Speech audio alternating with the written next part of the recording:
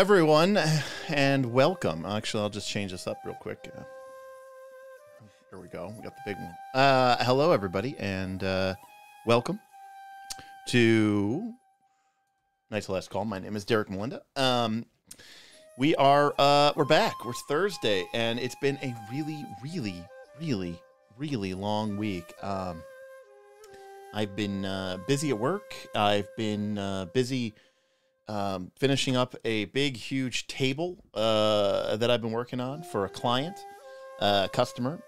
Uh, I take these woodworking projects and uh, I basically just take the money that I make from them and I use that to put back into the channel. Um, some of our first equipment and cameras and stuff were paid for by uh, uh, paid for by my woodworking projects, but I have one done and I it's been a it's been a very very long week. So looking forward to the weekend. Um, and yeah, so um, the algorithm the algorithm bought me here. Well, that's great here. John, Philip, Dan, great to see everybody. Now, of course, uh, as you can see by the thumbnail, uh, tonight we're going to be talking about Legend of the Five Rings. Um, and so I assume that that means we're going to have maybe 20 people in here. Um, because quite frankly, uh, you know, um, all anybody ever cares about is uh, Dungeons and Dragons, uh, fifth edition, in particular one D and D now, um, and uh, dropping off precipitously from that, you have your uh, uh, Pathfinder two, and uh, then there's everything else um, fighting for existence. Um, so.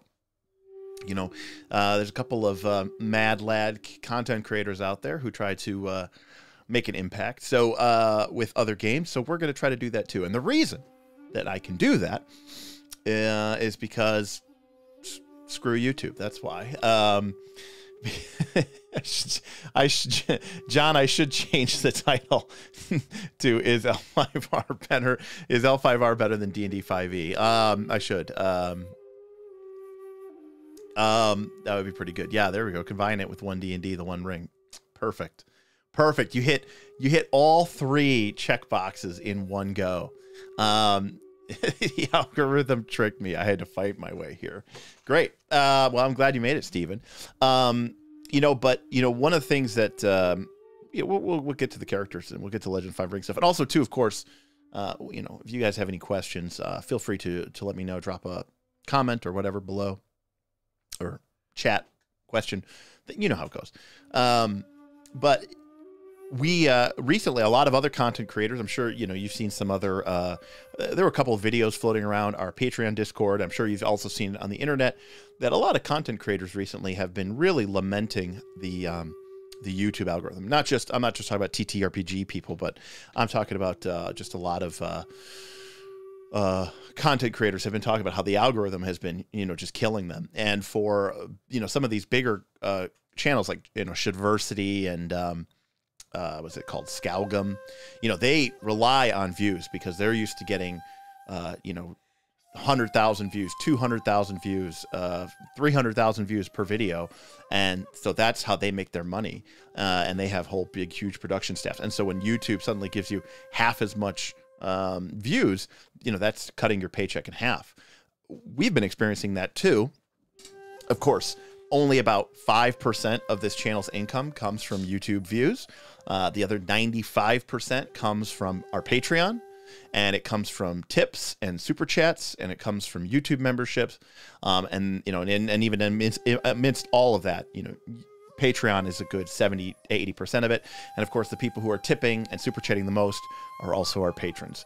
Um, and so that means that, uh, you know, and so I'm always the, the ever the cynical one and I'm always the data person. I'm always trying to you know solve problems and issues. And uh, you know, we were talking about this last night, and Mr. Smith, William Brandis, uh, ever so eloquently, basically just said, you know, screw him. Um, I mean, he used more dirty language than that, but we will try not to get demonetized here really immediately. But uh, you know, and and like all things, uh, he was right. Um, because uh, YouTube is a platform that I use to reach new people, to, to, to bring, to find the diamonds in the rough, to find people who want to go deeper into RPGs, think more about role playing games, have mature adult conversations about role playing games.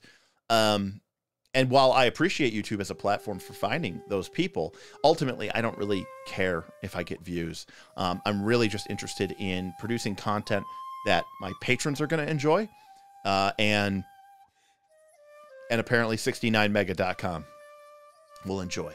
Um, but outside of that, uh, oh wow, this is great. Um, they must have known we were talking about Legend of the Five Rings. Um, but yeah, so they um, the Russian bots have found us. but uh, that, that's always a good sign of the stream. Um, but yeah, so here we are talking about Legend of the Five Rings. You know, uh, we'll talk about we'll probably talk about D and D. We'll talk about Pathfinder two. Um, uh, probably more Pathfinder two than D and D, but I'm also going to talk about these uh, other uh, games that we I love that uh, I'm passionate about that I think some of you are interested in and passionate about as well. And um, you know, together we'll we'll sort of walk that bridge. And the fact of the matter is, it is far better for me to make a video or a live stream that keeps 20 or 30 or 40 of my paying Patreon members happy, satisfied, uh, than it is for me to create a video that you know gets me tens of thousands or 20,000 views. Um, and that will definitely be tonight. Um, so, in any case, um, yeah, don't get me wrong. Uh, you know, we we uh, we, uh, YouTube is important, and it's it, we do need to find new viewers, and we do need to find new subs, and we do need to find new people to join the Patreon. After all, everyone here who joined the Patreon found us via YouTube somehow, and so it is important that we create content. Um, that is going to find people like you who have decided to come and, and hang out with us. But it's uh, it's just it's more important that I find the right people than I find the most people. Right? Does that make sense? Um, all right. Uh, so Dan asked a question. He said, "Are you?" Well, that's not it. Uh, there we go. Dan asked a question. He said, "Are you excited for the new L5R source book?" He is talking about Writ of the Wilds, um, which is a long time coming. Uh, Writ of the Wilds is a book that covers the enigmatic dragon clan, as well as covering some of the wilderness spaces of Rokugan, the forests, the mountains, um, going into a little bit detail of some of those areas um, of Rokugan. Um, I don't know. I actually don't really know too much about what is in it. Um, and I'm kind of I kind of have a, a, a wonky relationship with the Dragon Clan. Uh, kid Derek, teenage Derek loved the Dragon Clan. Adult Derek isn't so sure that uh, that he thinks the Dragon Clan is the best um, clan. Um, so is it a lore book? No, no, no, no. The none of them, all of them are lore books and mechanics books and um, all of them are just all of everything all at once. It's a, it's it's always a very good mix. Um, I think a lot of game systems could learn a thing or two from these books. Um, I always find them to be uh, chock full of new techniques and new schools and new uh, uh, systems, even sometimes. Uh, in fact, I think every book has uh, always focused on has a system. Um, but you know, um, in this case, as Dan is saying. Um, you know, there aren't really wilderness travel or survival rules in any of the Legend of the Five Rings core rulebook. That's not like a really important part of samurai most samurai adventures but uh, this is the you know this is a book that said hey we're going to include this system for um for uh wilderness travel and wilderness overland system um, kind of like how the lion clan source book which is called fields of battle uh, introduced a much more comprehensive, almost war game like uh, mass combat system to the Legend of the Five Rings game system, uh, because the there's a mass combat system in the core rulebook, uh, but it's mostly focused on like, you know, focused in on the PCs being these individual actors in a big mass combat that's kind of surrounding around them. They're not really the generals or the ones making the big decisions.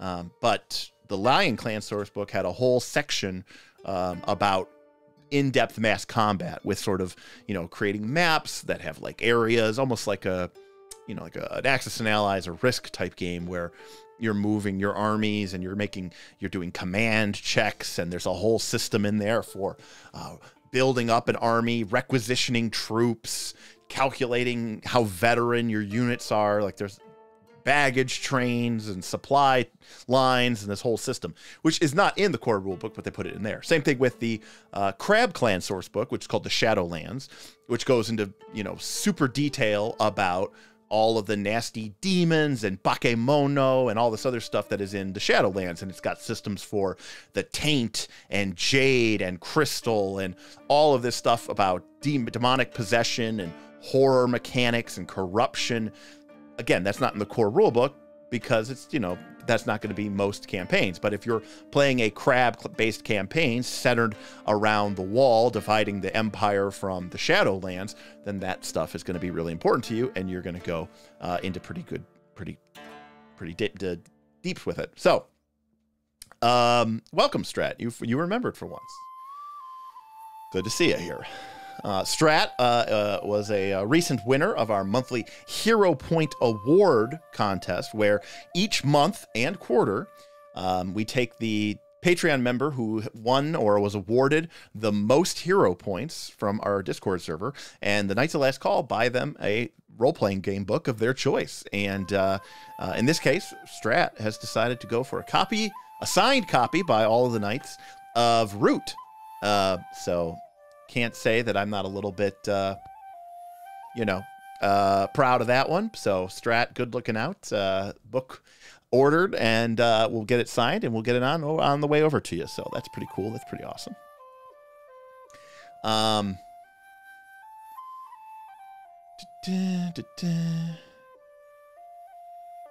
uh, John, I think it's a really great way of breaking up the books. Uh, we can go a little bit more into detail of it, but um, each book uh, typically focuses on one of the major clans where, um, uh, you know, uh, Crab for the Shadowlands, Crane for the Courts of Stone, Phoenix for the Celestial Realms, Lion for the Fields of Battle, and now Dragon for the uh, Writ of the Wilds. There's two more great clans.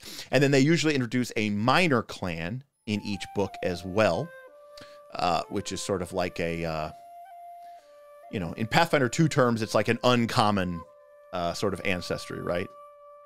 There are, there's the seven great clans, but then there's also probably a good two dozen or three dozen minor clans in the empire as well. Uh, and so each book kind of takes a little bit, it takes a chapter to do a deep dive into one of these minor clans if you want to be something really specific and really um, interesting and unique. Um, and then there's new equipment and new techniques and all this other stuff. So very, very good. Uh, Ty says, My last L5R character was Dragon Clan's Mirumoto school. Yeah, I mean, you know, listen, I mean, um, uh, Mirumoto duelist. I mean, that's again, as I said before, young Derek loved the idea of the Mirumoto school, who is trained in the you know what is it the, the twin heaven style of you know dual wielding the katana and the wakizashi. Uh, you know that's like oh, dual wielding katana and wakizashi like teenage Derek, young Derek, really, really, really like that. Um, older Derek, uh, sometimes it's a hard time enjoying the Dragon Clan because I find them them to be too uh, monastic. They are they're too detached. They're too uninvolved, um, and that that can be a little bit uh, frustrating for to me a little bit. But all right, well, uh, as I said tonight, we are going to talk about character creation in Legend of the Five Rings. And we're going to walk through it. We're going to go through it here together. So, I mentioned here uh, before that um, in Legend of the Five Rings, there is you you have a character sheet uh, just like uh, anything else uh, in any other game, and uh, you know it's a it's a two page character sheet. Um, and I, I even kind of like the way that they break this down. We'll, we'll, talk about this a little bit as we go through this and fill this out. Um, but the game also includes a uh, PDF or a printable a version of what they call the game of 20 questions, in which you go through a series of, guess what, 20 questions, uh, answering questions along the way, filling out information about your character and their, yes, yes, their background, but with um, cool, interesting mechanical influence on the on your brand new character. Um, and uh, as you go through each of the questions, um, you sort of generate more and more uh, information about who your samurai is and, and, and what they're doing and where they're coming from.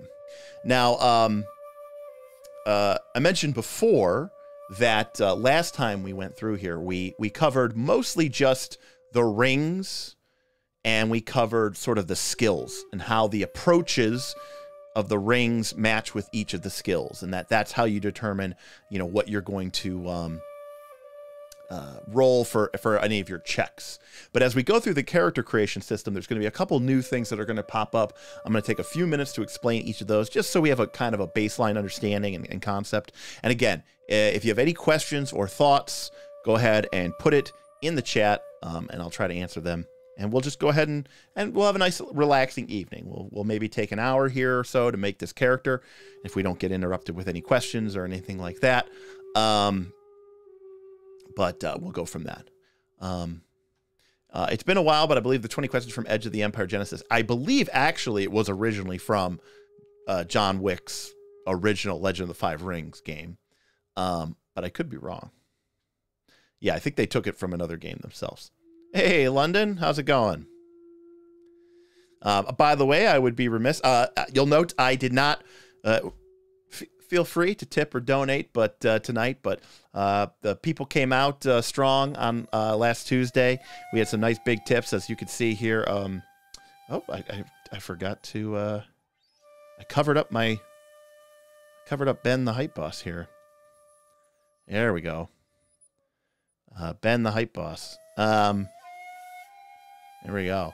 Um, so Ben came in with a, a very large uh, tip last time, and uh, he's our current hype boss. So uh, technically, our tip goal is reached. But of course, if you uh, want to show any appreciation, uh, everything is welcome, and uh, we really appreciate that.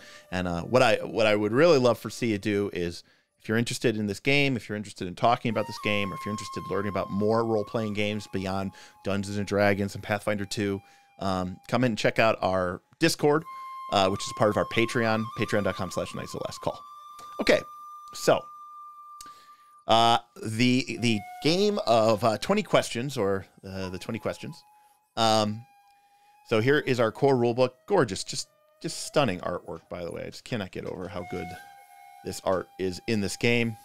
Um, it's just, uh, it's incredible. So, um, everything that we do is probably going to have to take like a, we'll have to take a quick break and we'll have to sort of uh, uh, uh, make a quick uh, side point about that. But um, so to begin with, we start with question number one, which is, and, and this is great, by the way. This worksheet's great. You can see it has, um, you know, a page reference. So, you know, you got your worksheet in front of you and uh, we go from there. Oh, hey, look at that. Five months. Hmm. Uh, that's a great question. Um, or that's a great point. Uh, Mr. Pawn no longer himself. Uh, um, he said, "I like how the Ronin book added more than appro- than more appropriate twenty questions." Yeah. So they also made a book about being a Ronin, and they kind of changed up the questions as well. So, um, way to use your your your membership uh, re up. Uh, but thank you for five months there, Mr. Damian Williams, Pawn no longer himself. Um, speaking of which, I got to talk to you there, Pawn. Um, I think I saw you volunteer maybe uh, to be our fourth for uh, Leshy Leshy Land. Um, so I might have to reach out there and talk to you about it. Um, Okay, uh, so if I forget, just remind me. That's that. This is me saying I'm, trying to be project manager here. I'm, reminding you to remind me because I'll probably forget. But I will follow up with you on that. Um, okay, so really great worksheet here. It says, you know, what clan does your character belong to? And then it says page 41. So it, you know, it says it tells you, okay, hey, go to your book, open up page 41, and we can start, uh, you know, going down here. So the first thing is clan. Now, remember uh, last time we were here, uh, I talked about the how in the beginning there was the eight kami that fell from heaven. One became the emperor, and then his seven brothers and sisters, uh, you know, swore fealty to him because he won the champion. They, of course, they had a tournament, uh, a sword fighting tournament to determine who would be the emperor and own everything. And so these other seven demigods basically uh, agreed to serve the uh, new emperor. And each of these demigods went and founded their own clan, uh, which, you know, became known uh, as for, uh, you know, kind of took a symbol of an animal or an idea uh, to sort of re reflect the clan and reflect what they were doing. Because the emperor sort of gave each of his siblings sort of a job and a mission. Uh, but in, in, in their own way, the empire works a lot like a very early version of the United States. You know, today we have a fairly powerful federal government and we just think of it as the United States. But, you know, when the original 13 colonies were founded, um, you know, it was really like 13 independent states with their own, you know, uh, laws, their own uh, traditions, their own cultures. Um, and, uh, you know, it wasn't even that uncommon, I mean, up until the Civil War. Uh, but, you know, where some of these states would even have skirmishes and potentially sometimes even all out war. So even though they were all part of the same country, and the same thing's kind of true for Rokugan.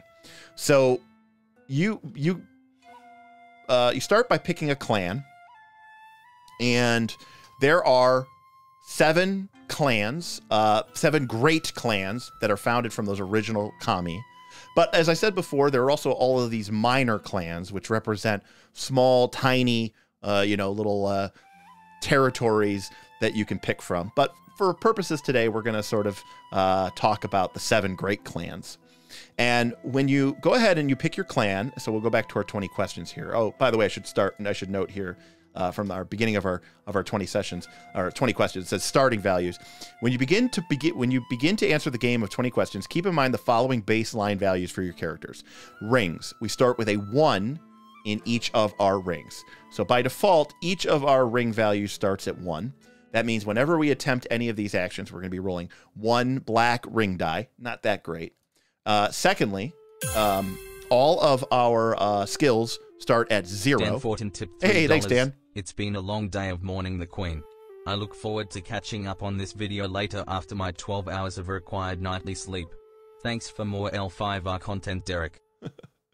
oh, thanks, Dan. Um, I completely forgot that you are in the UK and you just got there and the Queen just died. Oh my gosh. I can't decide if that's horrible timing or it's going to be like incredible to be there to see that sort of national outpouring of commemoration and respect and uh, you know and probably legitimate sadness um, on the behalf of of, of her her subjects. Uh, on the other hand, a lot of things are probably going to be closed over the next couple of days as well. So uh, that's kind of crazy. Uh, you'll have to you'll have to give us updates when you can, Dan. Thanks very much for the tip. Um, enjoy your uh, trip. Um, okay, so we start with a, a, one in all of our rings. Um, Shadram on their way to the UK as well. Yeah. Um, uh, for anybody watching later, it is uh, September 8th, and uh, the Queen died today. Um, and 96 years old, uh, 70, 70 71 years uh, of, of a monarchy or something absolutely crazy like that. Um, and uh, it's just crazy. I mean, my whole life there's always just been a Queen Elizabeth. That's it. You know, it's even weird to just think, you know, say to say King Charles III. I mean, think about it this way: every Bond movie, every Bond novel that has ever been written, it was always, you know, on Her Majesty's Secret Service, right? Her Majesty, Her Majesty, the Queen, the Queen, because every single Bond thing, every uh, was written during the the the reign of Queen Elizabeth. The idea that we even have, uh, you know, kings, it's like crazy, um, uh, strange. And I'm and I'm American, so you know, it's just very very strange. Oh. Thank you, John. Thank you, John. You just became a sponsor by joining the adventure and becoming an adventurer. Welcome to the adventure, John. Enjoy your custom emojis. And uh, I believe, John, by joining, actually, I think you just unlocked another two or three emojis that we can now add, some custom ones. We'll have to we'll have to figure that out with the other uh, with the other adventurers. And of course, your loyalty badge showing your uh, your awesome support for us. So appreciate it. 1952 to 19 or 2022, so 70 years. Yeah, Pla- uh, platinum, platinum. Wow. And that's just her being the queen. Yeah. Uh, uh, someone was pointing out how like her first prime minister was Winston Churchill. Like it's so crazy. Anthony, that's a good idea. Dia, some L5R emojis. Um, a fate die. Okay, John, bet you got it. You got it. Um, so yeah, or just saying like God save the king instead of God save the queen. It's just even like I said, like just Prince Prince Charles. I, that's his name, Prince Charles, not King Charles. It's so crazy. Steven, we'll definitely get some root ones. Um, we'll have to get like get some like some badger, fox, rabbit, eagle emojis or something. That'll be fun. Um, we'll just we can get rid of some of the burning mammoth ones. Just kidding. Um, we joked about that we should have a, a one of the mammoths we have the mammoth, and then we have the mammoth on fire, and then we should have another mammoth which is dead, but it's but it's bleeding cash. It's dead, but it instead of blood, it's just cash that's bleeding out from it. Anyways, um, Derek, what am I drinking tonight? Uh, just a soda, Henry. Sorry. I should be drinking a beer. Maybe I'll go take a break and just go get a beer. That'd be nice. No, we're gonna make a character. All right. So we have what clan does our character belong to? And we have seven choices. Again, you actually have more, but for the base game, you have seven choices. We have the Crab clan. And here this this will tell you these next page or two tell you about the Crab clan. Um, each clan that you choose will increase one of your rings. It will increase one of your skills, and um, It'll also set your character's initial status, which we'll talk about here in a second. Additionally, something that I really like about Legend of the Five Rings uh, is it each clan has this really cool sidebar, and it says, "What does your character know?" So let's just think about the Crab Clan really quick. Um, imagine the fantasy version of the Night's Watch. Uh, sort of combine House Stark and the Night's Watch into like one organization. This is the clan. Oh, and flip it. Instead of in the cold, frozen north, it's actually on the south, closer towards like the equator. Um, instead of undead, it's demons. They have a big wall that the crab maintain and sort of a thankless, horrible job that they are committed to 100%. Their job is to defend the Kaiu Wall, as it is called, or the Carpenter Wall, as it is sometimes also called, um, which stands between, and again, it's really, it's just like a combination of uh, the wall from Game of Thrones, you know, with a, a, dash of obviously the Great Wall of China thrown in there. Um, but it's on the southern border. They stand firm and protect the Empire from demonic invasions from the Shadowlands, which lays to the south of the Empire, which is basically, you know, hell on earth. Uh, where the, the the gates to Jigoku, which is hell, uh, are open and demons can come forth and and spawn. Okay, that's that's the that's the baseline crab. So, as a Crab Clan samurai, all Crab Clan characters have general awareness of the following topics. You have a general awareness of politics within the Crablands. You can name major family heads uh, and other leaders, and you know their respective positions and allegiances. You know about the Crab Clan. You can identify common Shadowlands creatures such as goblins, ogres, and zombies, and you know how to uh, defeat them. So you know about these Shadowlands creatures. You grew up hearing stories and songs of heroes who face greater evil still, such as Oni, but you have likely not encountered such horrors personally. So you've you know been around stories of these things the whole life but maybe you don't necessarily have a, a lot of firsthand experience with them and lastly you know all too well the befouling taint of the shadowlands and how best to avoid it and you can recognize the advanced stages of this unnatural corruption so just by being a crab clan this is not a check there's no recall knowledge your character just knows um, a lot about all these Shadowlands, demon possession, corruption, taint mechanics uh, because you're a Crab Clan member. Okay. Um, so each of the clans gets one of these. Uh, and so we have uh, the Crab Clan, and then we have the Crane Clan. Now, the Crane Clan are sort of the uh, polite, courteous, but also sort of double talking politicians and artisans and uh, sort of musicians and poets. They are all about culture, all about um, perfection in everything that they do. So that is the Crane clan. And again, you could see here, um, you know, and as reflects that, if we read how the Crane clan is different, uh, the Crane clan samurai have a strong awareness of politics within the Crane lands, but they also know about the general state of political affairs between all the clans. See, a Crab Clan samurai, when they start off the game, you know, they're they've been busy at the wall. They know they could they could tell you about the difference between a zombie and a goblin and an ogre and an oni, but you know, they may not necessarily know what is the current political tension between the lion clan and the crane clan because they're in the crab and they don't care about that stuff.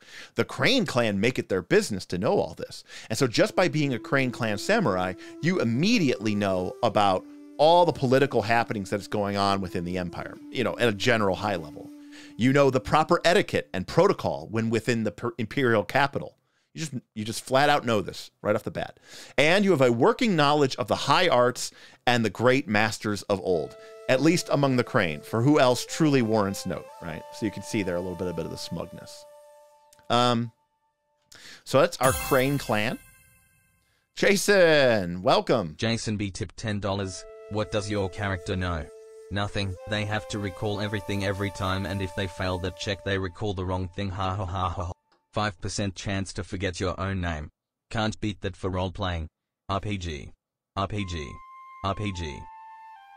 RPG! RPG! RPG! RPG! RPG! Um, that is true. Um, recall knowledge needs help. Um, so we also have the Dragon Clan. Now, the Dragon Clan, uh, they are strange, weird, monastic people who live in the high mountains, who do not concern themselves with the comings and goings of the of the uh, uh, the rest of the empire. They know more about um, sort of survival in the wilderness. They do not spend as much time, you know, in fancy courts or political arenas.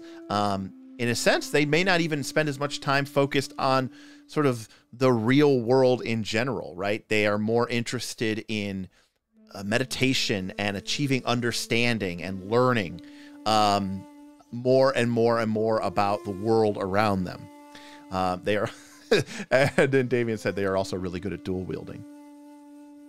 Um, the Lion Clan was charged uh, in the beginning of the formation of the empire with always being ready to go to war. And so the Lion Clan are the military historians and military practitioners, uh, bar none, across the empire. And so a lion clan samurai is a master of war and warfare and believes in the value of war. A lion clan samurai would tell you that Bushido literally means the way of the warrior, and that all samurai, because all samurai are expected to uh, follow Bushido, in a sense, all samurai are warriors. Um, Uh, with my limited knowledge, I would have assumed meditating monks would be void, or is that not something you can get from a clan? Um, I don't think there are any clans that get stuff from void. uh, KC. Void is sort of the is sort of the hard one to get. is what I would say. Uh, but Phoenix get it because Phoenix are the people who are actually the um, spiritual, uh, religious clan. They're actually the ones who spend most of their time focused on uh, the Tao of Shinsei and you know studying the fortunes and the spirit realm, um, and so they're the ones who get void. But uh, yeah, the uh, Dragon Clan get fire, uh, not be- because um, oh, what happened here? Uh, the Dragon Clan get fire because the Dragon Clan are interested in um, creating and exploring and gaining insight into the world around them. They they want to um, solve problems and create solutions. You know, you could argue that in a lot of people in the empire are very conservative. And I mean that like in a political sense. I don't necessarily mean like Republican, but I mean conservative and in like why do we do things this way? Because that's the way we've always done them. You know, why create a new way of making katana? Why create a new form of poetry? We should use what our ancestors used, and we should use what their ancestors used. And going all the way back to the kami, because the kami were gods, so why would we change anything?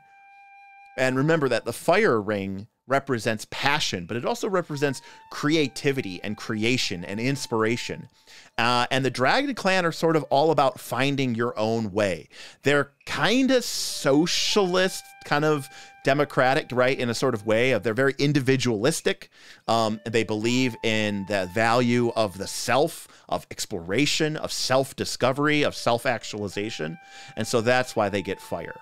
Um, they very much stand out uh, you know, only probably I would say the Unicorn Clan come close to sort of the level of modernism that the Dragon Clan have. So um, that's why the dragon get. That's why the dragon get uh, fire. The Phoenix, however, get void because the Phoenix, um, again, the Phoenix clan is charged with the spiritual well-being of the empire. It is their job to, um, as a clan, to speak with the kami uh, that inhabit this land, all of the spirits of the of the um, of the earth, but also the spirits of heaven, and to keep everything in balance. Um, and so they are the the school that has the most practitioners who are shugenja, who are samurai who can uh, invoke and importune the kami to um, you know uh, achieve results and and and do things for them. They also are very very much the keepers and practitioners and studies of the tao of shinsei which is this sort of um, kind of zen buddhist philosophy that was imparted to the empire when it was very young about how seeking enlightenment and the cycle of rebirth and reincarnation um, in and fulfilling your dharma and uh, you know avoiding building up karma and and seeking higher higher in levels of enlightenment. So this is all what the phoenix clan sort of consume themselves with as well. Um, so very much a spiritual people um, and uh, a spiritual group of samurai. Then we have the scorpion clan.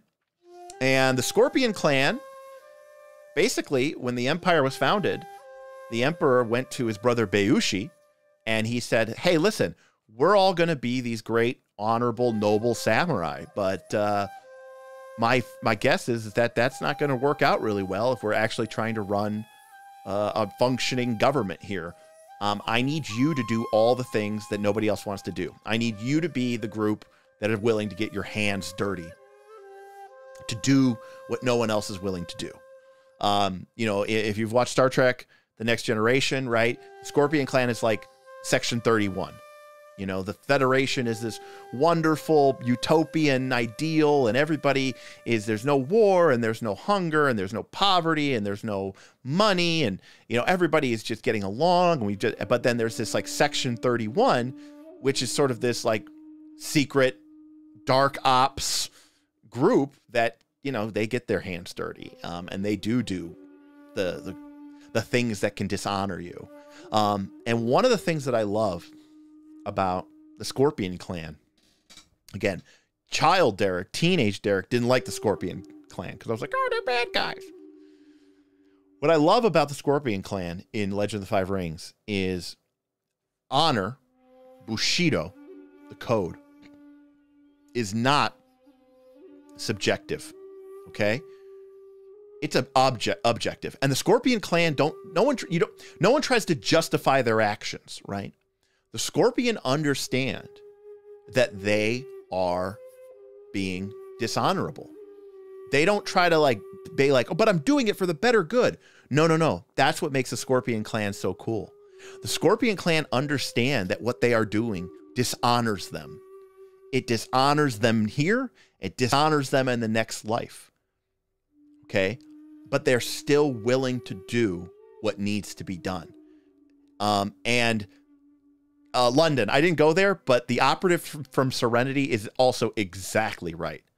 Um, and a, to a scorpion, like like by saying that honor is objective, what I mean is like the Scorpion clan is not a situation where they go, well, but, but I did what had to be done. And so my honor is actually really, really high. No, like a Scorpion clan samurai understands that their honor may very well be nothing or zero, that they will have dishonored themselves and they will do what needs to be done. They get, they understand that they can't enjoy the fruits of their labor that's the that's the burden that they take onto themselves and there's like a nobleness to that level of sacrifice right um, that i think is really really cool. Um, it, exactly exactly. Um, you know there is no honor for us but what needs to be done will be done. Exactly ty exactly.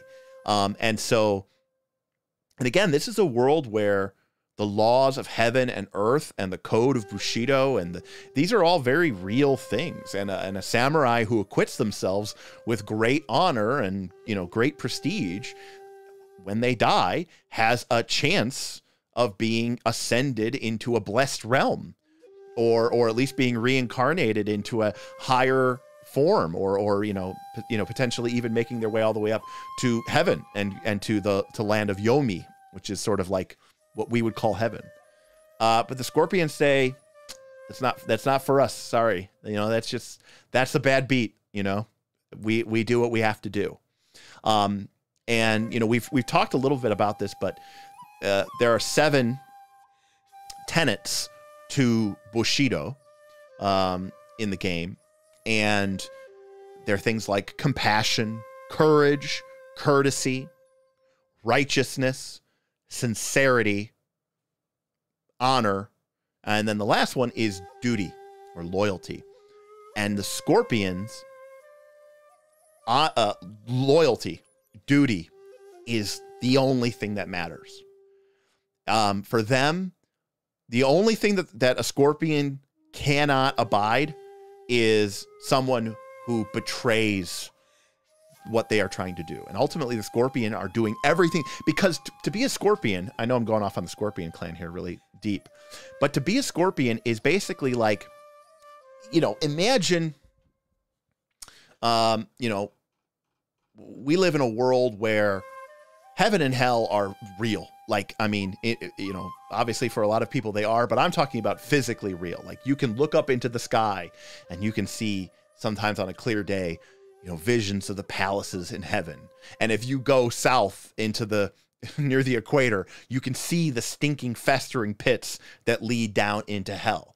Um, and you know that when you die your spirit will go to a realm and you will be judged based on your performance and you will be either sent up or you will be sent down um, or you'll be sent back around again. But maybe this time you'll come back as a peasant or an animal or maybe you'll come back as a you know a very important and powerful samurai.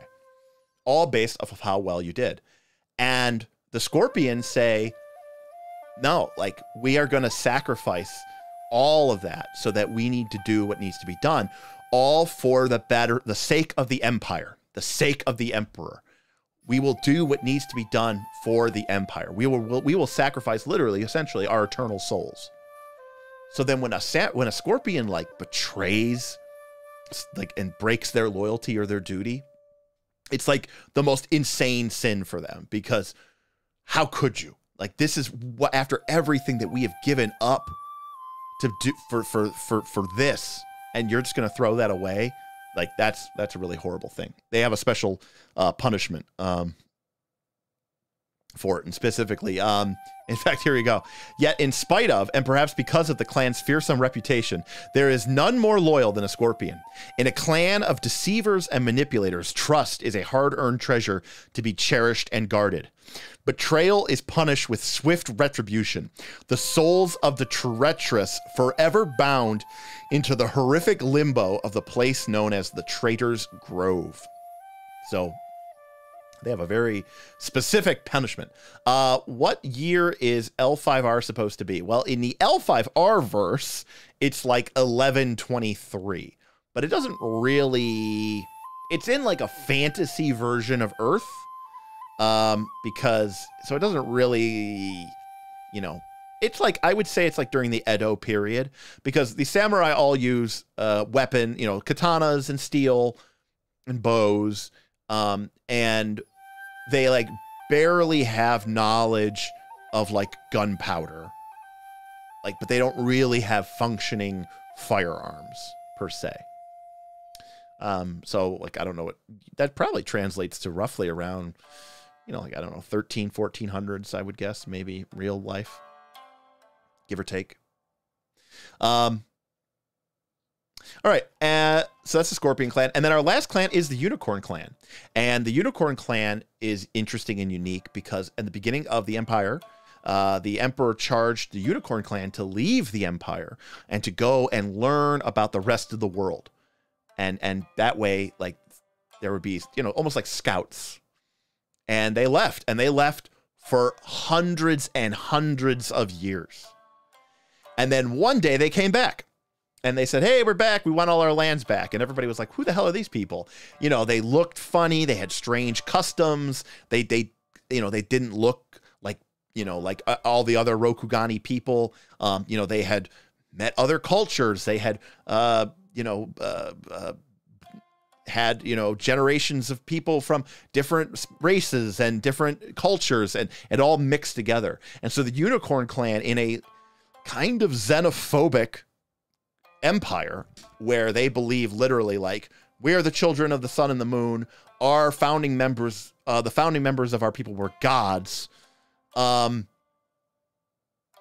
the unicorn clan are kind of like hey yeah you know we've you know we borrowed some of their culture. We had sex with a bunch of those people. Uh those people we just straight out asked to join us. So they're very much an oddball in the grand scheme of the empire um, and even after, uh, you know, uh, a couple hundred years, uh, uh like 200 years, um, they are still basically seen as sort of these backwater, not truly welcome in the empire uh, type of people.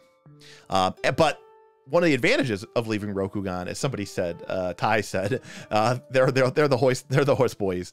Um, you know the the horses of Rokugan are basically just like stout ponies um, you know, they're okay for traveling, but they they're not good for you know they're not thoroughbreds. They can't carry a, a man or a woman in full armor. They can't uh, you know carry a, a mounted combatant. They can't do heavy work. Well, the Unicorn Clan have real, honest to God horses, uh, what we would really call cavalry. They have you know stallions. They have um, uh, battle steeds, thoroughbreds, and uh, that really gives them a huge advantage uh, in you know in terms of of warfare. So those are our basic uh, clans. So we need to pick one, um, and uh, I'm I'm open I'm open to suggestions from the chat. Oh, one last thing while while we get some suggestions from this. Um, I, the, one of the other things that uh, your class gives you here is status. So you can see here the Crab clan gives you 30 status, and the Crane clan gives you 35 status. 35 status. Um, and this is one of the three um, attributes that your character tracks on their sheet. You have honor, glory, and status honor is your character's personal belief in how well they are achieving Bushido. Now, remember, like I said, Bushido is objective, not subjective. So, a samurai who lies and betrays his friends and, you know, cuts down a, a, a peasant family, but so that they can save the emperor's life, is not going to try to justify that. Right? Hey, thanks for the super chat. Um, Harj, Harj, Harj, Harj, Harjutapa, Harjutapa. Been listening while working and just got home to where I can tip. Oh, thanks, buddy. I uh, just wanted to thank you for bringing more attention to L5R. I love the new system. Awesome. Um, yeah, I think we'll probably do something on the uh, the new Harutapa. Thank you. All right, Harutapa. Thank you, Harutapa. Um, but yeah, we uh, I'd like to talk more about the system. I'm really a fan of it. Um, I think there's a lot of cool stuff here too that we could use in other game systems um, as well. Uh, and I'm interested in eventually comparing this with Adventures in Rokugan, which is the sort of Dungeons and Dragons 5th edition rule set version of Rokugan, which just came out uh, a couple weeks ago, and really sort of showing some of the, the pros and some of the cons. But thank you, Harutapa. Uh, appreciate that super chat. That's awesome of you. Thank you. Um, so honor is, you know, so again, your character lies, they, uh, you know, betray a loved one, uh, you know, they're kind of a dick, and they, have to kill, uh, you know, some some peasants. Um, and show them no mercy, but it but it saves the empire. It saves the lives of the emperor. Uh, blah blah blah. And you might say, well, the ends justify the means. Not to a samurai. A samurai understands that by doing those things, they have dishonored themselves. No one needs to be around for you to gain or lose honor. Honor is something that you carry within yourself. And each person is their own judge. Um, and and and samurai are brutal judges, especially of themselves, right? So uh, honor all three of these can go from zero to 100 by the way um, glory is kind of the opposite glory is your character's reputation for being honorable and being an awesome samurai and being like grade A person number one. So glory is more of a reputation based thing. So again, someone with a really, really high glory at least has renown and reputation for being a awesome samurai. Good job. Honor is what you believe and what you know to be true. And lastly, status, which goes from zero to 100, represents where your character is in the feudal pecking order.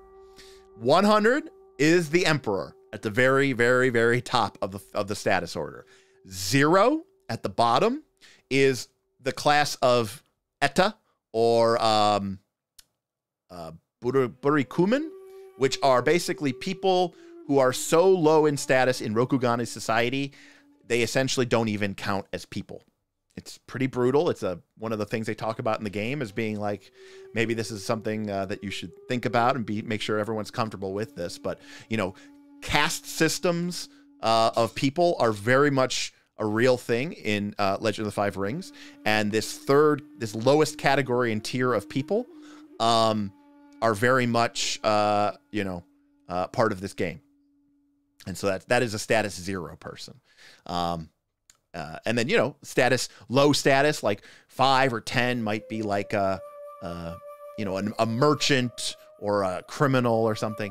Status like 15 might be like a farmer or a person like a smith or a blacksmith like a craftsman um, you get started getting into status 20 you start getting into like the lower tiers of the samurai. You get into the status 30 and now you are you know a proper samurai from the great clan. So going back to our 20 questions uh, or going back to our things, the Crane clan starts at status 35, whereas a Crab clan samurai starts only at 30. So yes, these are both great clans, but you know the Crane is part. You know they're part of the the hubbub of imperial activity.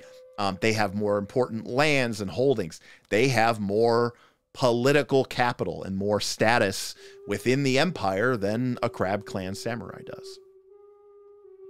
Um, Strat, yeah, and also too Strat. Well, we'll talk about this, but um, those these things um, are uh, uh, have mechanics associated with them too. Strat.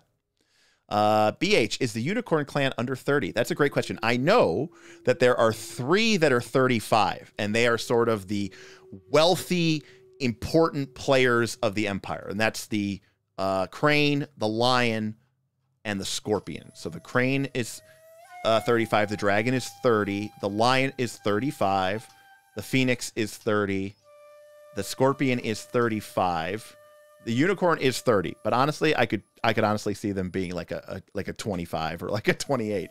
But uh, you know what it is? They have so much money. I, I think they've just they've just bought their way in.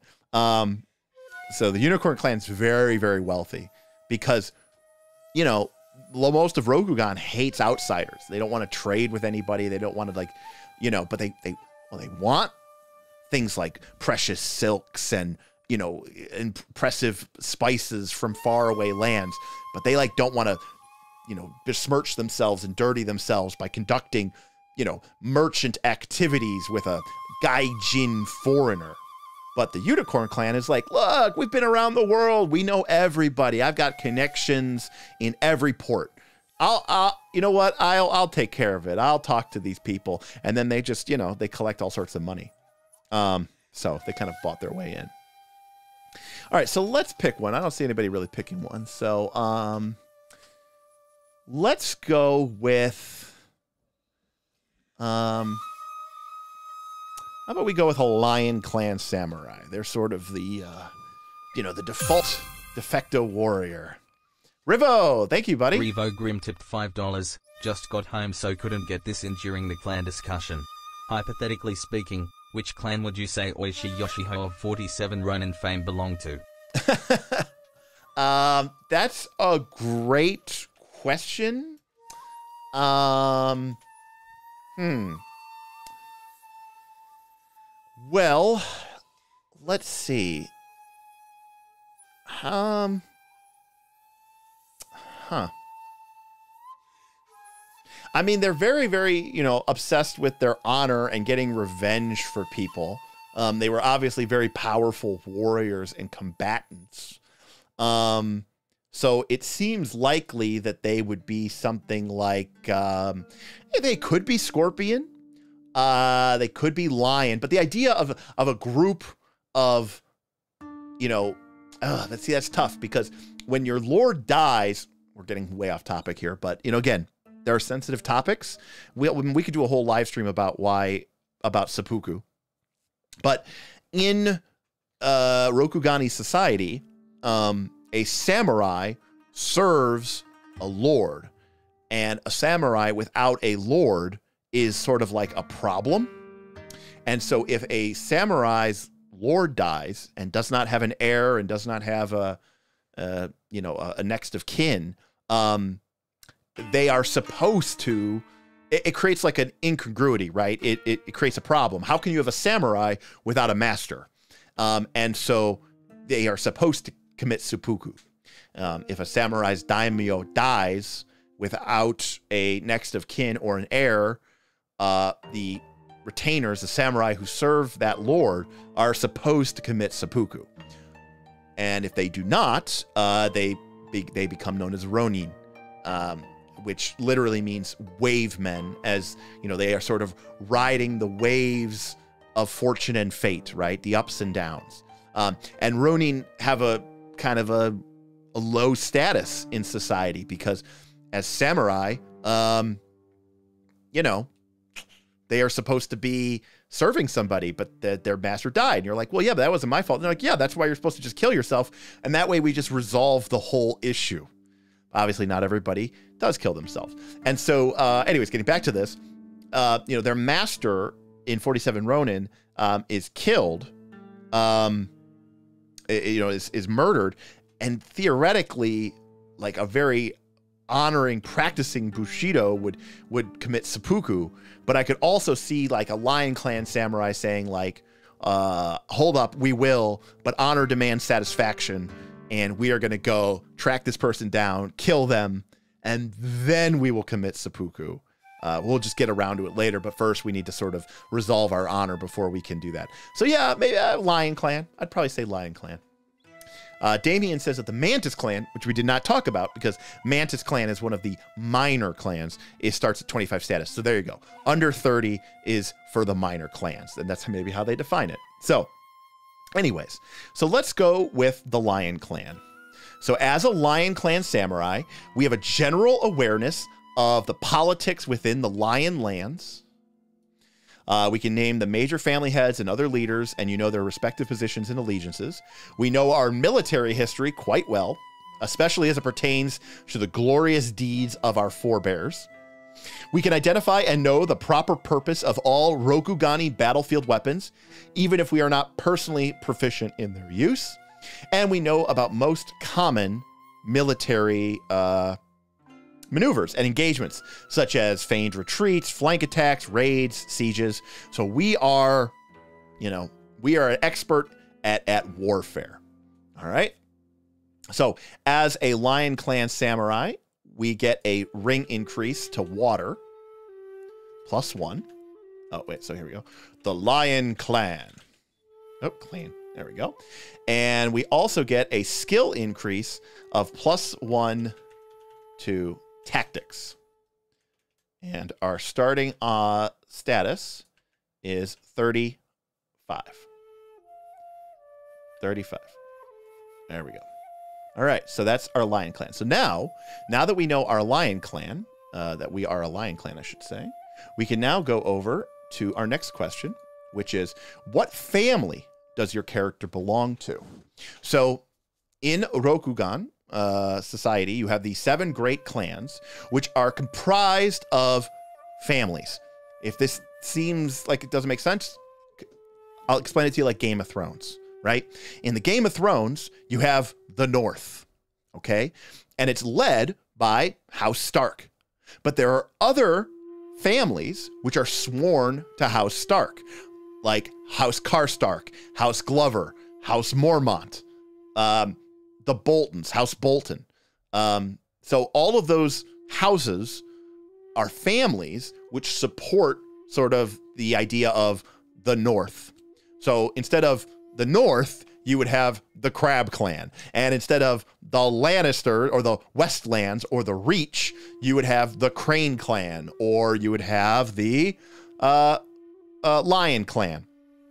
And then you have families within that clan that sort of each have, uh, you know, sort of a unique role. There is a family, which is sort of the head family, just like in the North, the Starks are the most important family. They're sort of the, the head honcho family. And the, the head leader, the head daimyo, which is called the clan champion, who is in charge of the whole clan, uh, is usually a member of that family.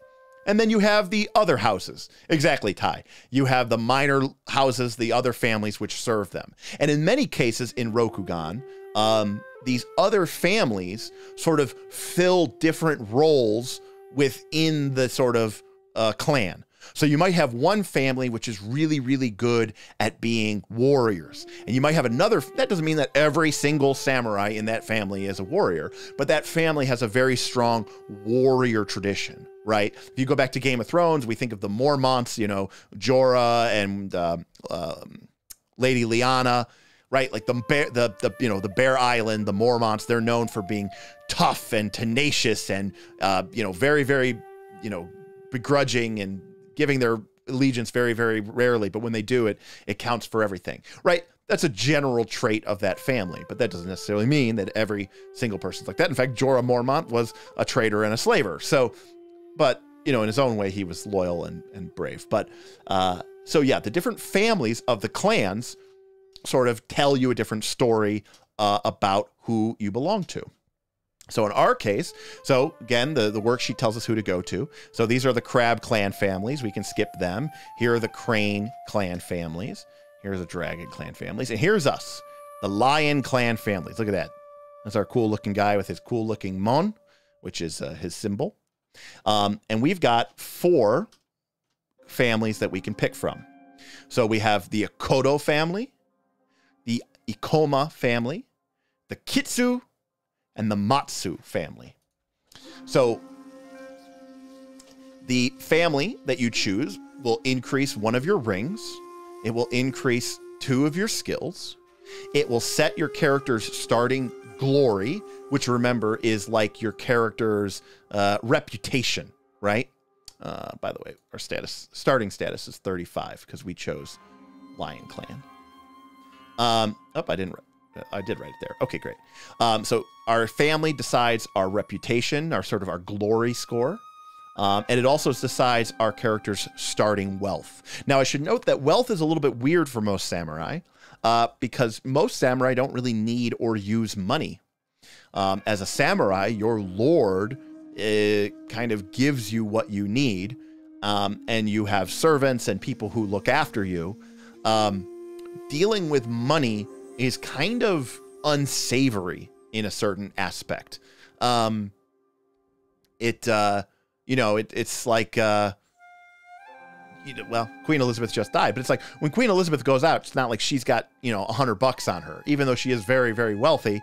Um, right. Like dealing with money or currency is actually almost considered to be dishonorable. Nonetheless, money is money. Um, and certain families are more wealthy than other families. So we have here the Akodo family. They're sort of the the leader, the head family. In fact, uh, every family is named after a famous ancestor who did something so important that they were given a sort of a line of, of people who will take their name going for, uh, you know, ever going forward. So in the case of the Akodo family, they are named after Akodo, who was one of the eight kami, which fell from heaven. Um, and one of them, one of the brothers and sisters who were gods and goddesses. And Akodo was the great warrior and actually the final combatants in the the tournament of the kami to decide who would be the emperor of this new realm. It was Akodo versus Hantei. Um, those he was the basically was down to those final two. Um, and Hantei beat Akodo. Hantei became the imperial line, and Akodo founded the Akodo family. So people within the Akodo family can trace their lineage back to Akodo. But Akodo also had very uh, awesome, worthy followers, incredible retainers, and in some cases, he uh, rewarded them with their own line. And he said, ah, you know, we will, there will be a line of people named after you. They will take your name, and you will be, they will follow your, your, you know, your, your history. They will follow your, uh, lineage, your legacy. They will be your legacy.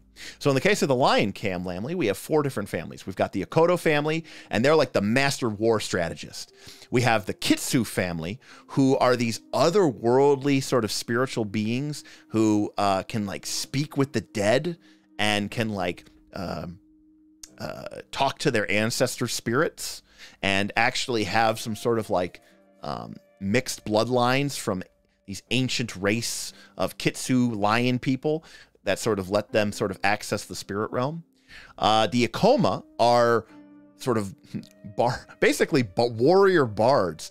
Um, they are storytellers, historians. Um, the Lion Clan is all about like battles and war, but they're also about like the honor of your ancestors and remembering their names and telling their tales and you know being worthy of being recorded and remembered and written down. Um, and so the Ikoma are kind of like the politicians of the lion clan uh, but they do so under the sense of being like master historians and master storytellers. And then lastly there is the matsu family which is actually a, a matriarchal family by, uh, by tradition. And they are brutal warrior. You know, everything is a battle. Um, you know, even a farmer is waging a war. He's waging a war against the crops. He's waging a war against pests. So the Matsu are just like this uh, super militaristic, super battle hardened group of, uh, of of families, and again, historically matriarchal. So, uh, yeah. So here we go. Um, so we got to pick some choices. Uh, I don't know if anybody has any uh, thoughts or questions, uh, uh, let me know if you do, um, or if we should go with a certain route or not. I like, I'm thinking here that we will go with, um, think it will go. I, you know, there, there's some interesting ones here. There's, you know, if we want, and again, you can say a lot about your your, your samurai. You can say a lot about your character by which family that you're going with, um, because this is the you know the culture and the family into which uh, you know sort of you were raised and born. Um, but I, I don't know. I'm feeling like being a hot-headed warrior samurai. So we are going to be from the Matsu family. So we come from uh, the Matsu. And as a member of the Matsu family, we can either increase our earth or our fire ring. So let's increase our fire ring. Feels very appropriate there. And we can add, we add one to our command and to our fitness check. So command is our ability to, you know, boss people around. And fitness is sort of this game's acrobatics, athletics, kind of all rolled into one. And as a member of the Matsu family, we start with 44 glory. And we start with five koku. So a little bit more glory than, you know, the kitsu or the uh, ikoma, but, uh, you know, pretty pretty good glory because again, we come from a family that is renowned for being great warriors and honorable battle, you know, fu- you know, fiery, honorable, unrelenting, uh, you know, sort of samurai in a, in a in a nutshell. All right. So next, so that's part one. That's our core identity, our clan and our family, and just from that, Lion and Matsu, we know so much about our character. But we also have some of our our starting stats, our status, our glory, and these numbers. Not only do they mean something mechanically, but they tell you something about your character.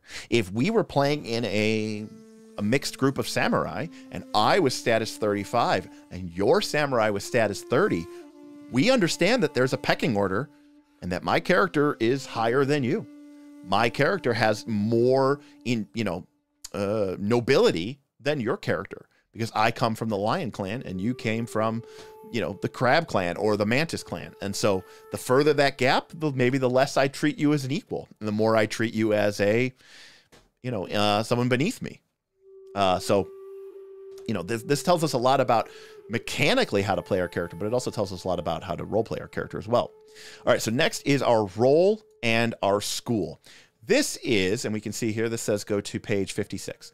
So this is this game's equivalent of choosing a class. And I hesitate to call it a class because it's so open ended and you can really honestly pick anything you want. um, in terms of like what skills you want to learn and all that other stuff. But a school gives you a sort of, it gives you literally, I think it's called a curriculum for your character to follow. That if you do follow it, your character will get special, certain special advantages. But you do not, you do not have to follow these um, uh, if you don't want to. So, um, uh, typically, a character will go to a school that is from their clan. So uh, doesn't necessarily have to be from your family, uh, but it does have to usually be from clan. But remember, there's nothing, there's no, there's no balance here or anything like that. That that means that you have to be from this. Um, a a crab clan samurai could have gone to the lion Akodo commander school. In fact, there's many examples in the in the narrative of where they do this. Um, in, it, it think about Game of Thrones. Theon Greyjoy is a Greyjoy from the Iron Islands. He is the son of Balon Greyjoy, who is the lord of the Iron Islands. Uh, but because 10, 20 years, 15 years ago, when Theon was a baby, Balon Greyjoy rebelled the uh, other kingdoms quelled the rebellion, and then to keep him in line, they took his kids and they fostered them with different people, including Theon being fostered with the Starks. So even though Theon was raised as a Ironborn, uh, he grew up in a Stark household. So you know you might be uh, a Lion Clan samurai, but maybe at a young age, as part of a political trade, um, you were tr- you know trained in an, a unicorn school or a phoenix school. That's totally awesome. You could totally make that part of your character story as long as you're making it, you know, make me- mechanical sense. You might want certain abilities. Um, So when you pick a school, uh, it is going to tell you you get some bonuses to your rings. Uh, you get to pick some starting skills, and it determines your character's starting honor. Okay. In addition, you can see here on the right, these are your character. This is your school's curriculum. Okay. When you're when in in Legend of the Five Rings, you don't um, you gain XP, ex- you gain experience points, and then you spend the experience points to buy new ranks in a skill, new dice for your rings, or to pick up new techniques, which are like feats. Um, so you can spend those experience points on as you gain them. So it's not like you get nothing, nothing, nothing, nothing, and then you level up. It doesn't work that way. Instead, you earn experience points every session, and then you can either you might you might save them up to buy something really big and cool, or you could eat every session buy a new rank in this or a new rank in this. And obviously, higher ranks cost more experience points, so it can be difficult to get to the very highest uh, levels of, of of ability. But for the most part, you can spend your experience however you want. There are ranks to these um, abilities. Um, and so, you know, at, when you start the game off, you're a rank one samurai. You cannot use rank two or rank three techniques, uh, feats, basically. Um, the way that you get to a new rank, which is kind of like leveling up, is after you've spent enough experience points, you are now rank two. Full stop.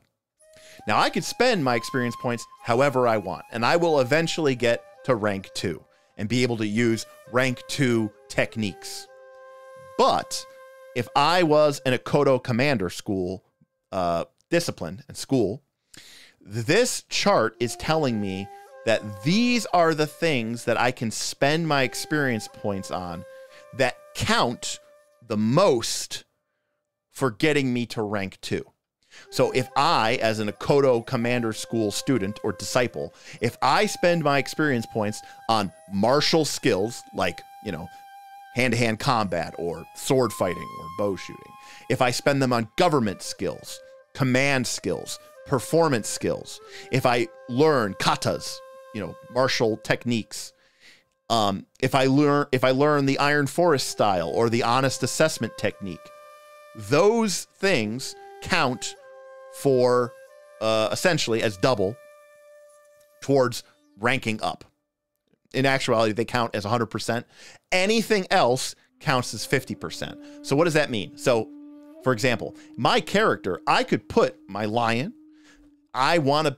I want to put experience points into smithing, right? My I want we're we're I want to we become a great and powerful I want to forge my own katana, you know, from the defeated blades. I want to like create my own iron throne, right? Like, but in katana form. Like, I want to take metal from all of the people I've defeated, and I don't know. I, I'm making something up here. That's smithing. I can spend my experience points on gaining ranks in smithing. And as I put experience points into smithing, I will eventually uh, rank up to rank two. But every experience point I put into smithing will count only as 50% towards leveling up. I get the full value of it for buying the rank, for buying the rank. But in terms of like tracking how much I have towards ranking up, it only counts as 50%. Because as an Akodo commander school, my schooling wants me focused on these things. So in my in the, most of the time, my experience has been it's a balance. There's nothing. It, it's not like you need to rank up. It doesn't work that way. You don't have to level up. It's not like you get hit points or anything like that, like in this game. Um, and uh, you know, you get to, but you know, there is some, there is a certain advantage to putting uh, your experience points in your school. That's why it's a school. That's why you chose this school. So there, you know, it is an important choice to make. Uh, but that being said, you're not locked in. You're not, you know, you're not saying, oh, you can you can never take anything other than six things. Nope, you could take anything you want. It's just if you put it in somewhere else, you know, your character might gain rank two a little bit slower, and that's okay too. Uh, Ty, are we gonna sky? Are we gonna Skyrim this? Advance to rank four only through increasing crafting skills. Ty, you absolutely could. Um, and there's nothing wrong with that. Um, you know, you could easily have a Legend of the Five Rings game about a group of artisans. Um, in fact, one of the classes, one of the class types is artisan. Um, eh, if you were so inclined. So our characters from Matsu, though, and we wanted them to be like a super warrior. So there is a uh, there is a Matsu class. Uh, again, we don't have to be from this uh, school. We could have been from the Matsu family, um, but then you know maybe our father or mother, or maybe our father and mother's lord said, you know, hey, we're sent. You have a an eye. You know, you have a smart mind and a, a brilliant. You know, we need more co- combat commanders. We don't need just more foot soldiers. Um, we need someone who can lead and command. And you know, at a young age, you showed an aptitude for thinking and and thinking on your feet. We're going to send you to the Akodo Commander School. That would be awesome. You could totally do that. But you know, because we're just kind of going with uh, you know the whole the whole warrior aspect here, um, we will be from the Matsu Berserker School, um, and this tells us what kind. Now, this thing here in parentheses, this is just a sort of reminder text. It doesn't actually really mean anything, but Bushi is a way of saying this school is about being a Bushi, a warrior. Bushi means like you know warrior, com- combatant. Whereas, for example, if we became a Kitsu medium, uh, that says Shugenja, which is sort of the elemental, you know, spellcaster. The Ikoma Bard School is the courtier. Those are the more politicians focused, uh, politics oriented characters. Again, anybody could be anything. Uh, you know, my Matsu Berserker School character could take, you know, could take points in politician, could take points in courtesy, but um, it, it, there's nothing in the game that prevents me from doing that. Uh, but certainly, I will get uh, kind of rewarded if I focus on the skills and abilities that the school wants me to do. So here we go the Matsu Berserker School. The Matsu soldiers are the front line and main strength of the Lion armies. Their bravery and zeal for battle are unquestioned. The Matsu Warrior Dojo teaches the primacy of offense and the necessity of seizing the initiative in all things. Aggression is the hallmark of the Matsu style. Direct action is their watchword. This bellicose attitude often puts them at odds with the careful strategies of the Akodo, but the Matsu serve the lion and the empire with unquestioned loyalty. So, we are from the Matsu Berserker School. So, what we are from the Matsu Berserker School. And what roles does that school fall into? And we know that that is um, Bushi. And we get um, two ring increases earth and fire. So we get plus one earth and plus one fire. Awesome. And then we get starting skills. We get to choose five. We get plus one command, plus one fitness, plus one labor, plus one martial arts, melee, plus one martial arts, ranged, plus one martial arts, unarmed, and plus one survival. But we only get we, we only can pick five of those. So keep in mind that we start with plus one command and plus one fitness. Um, so I like the idea of going an additional command uh, because you know now we we'll start the game with two command. We definitely need to get some uh, martial arts uh, melee in there. I don't really see our character as being much of a uh, much of a ranged specialist, but you know maybe they uh, maybe they know how to fight unarmed as well. They are like a a true a true grappler, a true fighter. So we got two more that we get to pick here. So we got command. We got we could pick fitness, just making our character that much more you know capable of running, jumping, climbing, being you know awesome. Um, we could also pick up survival, or we could pick up labor, which is interesting as well. Now, this kind of tells us a little bit about our character as well. You know, if our character has, uh, you know, a skill like labor, which by the way comes from the trade skill section, um, these skills are kind of considered to be low skills, right? Samurai should not be, you know, samurai are meant to engage in battle uh, you know, they are meant to be the way of the warrior. Bushido, Bushido means way of the warrior. So things like, you know, earning profit and trading money and, you know, uh, working with your hands and, uh, you know, committing, you know, petty crimes, those things are kind of considered to be low. Um, you know, not exactly things that uh, are, are you know perfect for a samurai but i have a sense of uh, of our samurai being a little bit of a pragmatist and you know when you are you know at uh, you know at, at, a siege camp or you're getting ready to uh, you know create earthworks for you know uh, an army um, you know practicality wins the day and the lion are ultimately always about winning war um, even if it means getting literally getting their hands dirty so we'll put labor in there as plus one. And then just to round it up, we'll make fitness uh, plus one as well. Fitness plus one. And then as a Matsu, we are a samurai samurai. So we have 55 starting honor, which is very, very high. Um, I think I think the game starts to give you mechanical benefits at like 770 or 75 or something like that. So we uh you know, we we hold ourselves to be pretty highly, you know, uh, in, in, line with Bushido.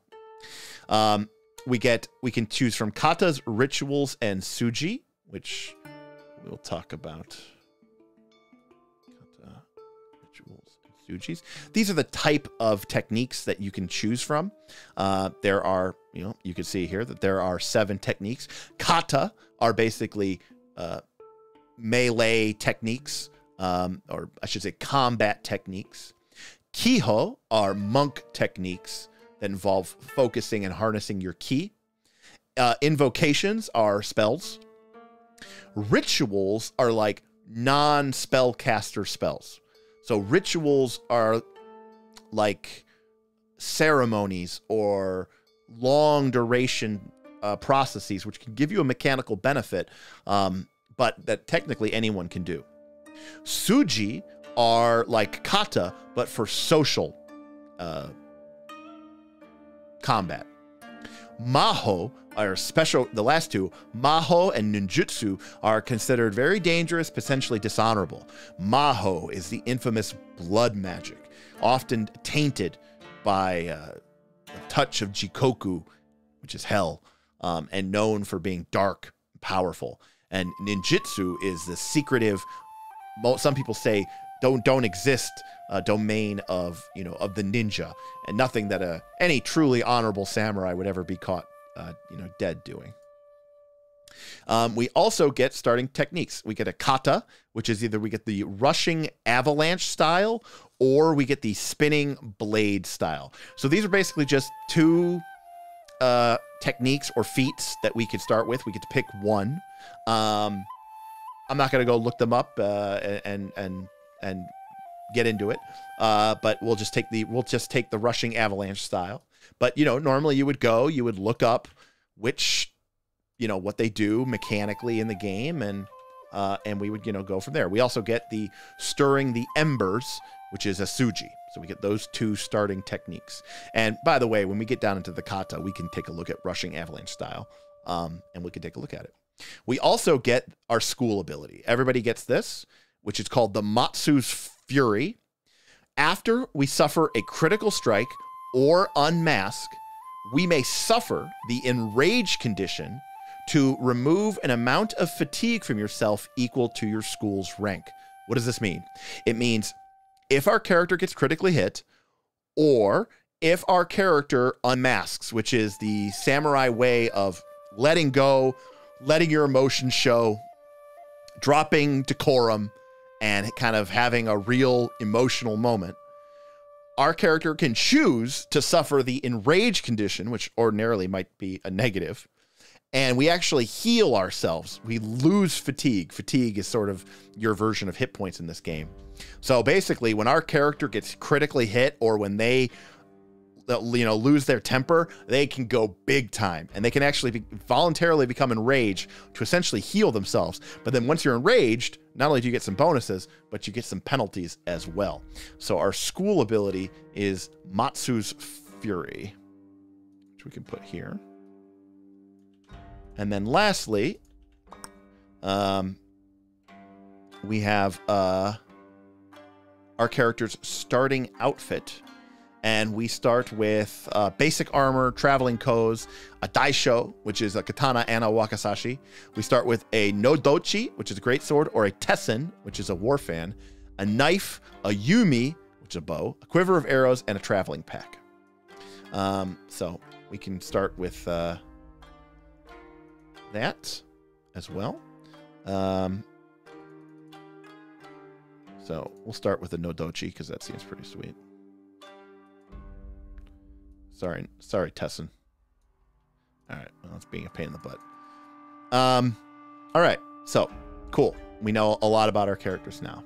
So now we get to some really cool, quick questions. Again, um, the only petty crime here is the crime against fashion with the Lion Clan helmet beard. um, so real quick, these are just quick beats. And here's the best thing about it: when you're playing this game, let's take a look where this is uh, page 88. When you're playing this game, you can describe this as much or as little as you want. Okay. I should also note that the highest ring rank that you can have in the game at the start is three. So, for example, we are right now, uh, all, because remember, everything starts at one. All of our rings start at one. So from our uh, just from our questions, we already have a fire of three, we have an earth of two, and we have a water of two. Um, so just something to keep in mind. If um, most people I know that I've seen have said that if you if you would get above a three, you can uh, put it somewhere else. But so question number four: How does your character stand out in their school? Now, here's what I was talking about when I said you can go as deep as you want, uh, or you can go as um, brief as you want. This is where like the game has a nice balance between people who really want to go deep and people who don't want to go deep. So, for example, how does my you know? So we have our Matsu. They are at the Matsu Berserker School. Um, how do they stand out within their school? And you can see here, there's a, you know, they give you a nice big chunk of text here. Well, guess what? We could just say uh, thoroughness, patience, or calm. You know, we could say that they're, you know, they're notably thorough, right? Stoicism is a trait greatly valued in Rokugan. Your character bears challenges and hardships without complaint. Your character's teachers might have come to rely upon them as an assistant instructor, right? So we could just say thoroughness. But if you really want to go deep and talk about why how your character stands out in your school, this is a great place to put it down. It's a cool place to add it. At the end of the day, what does it do? It gives us plus 1 earth.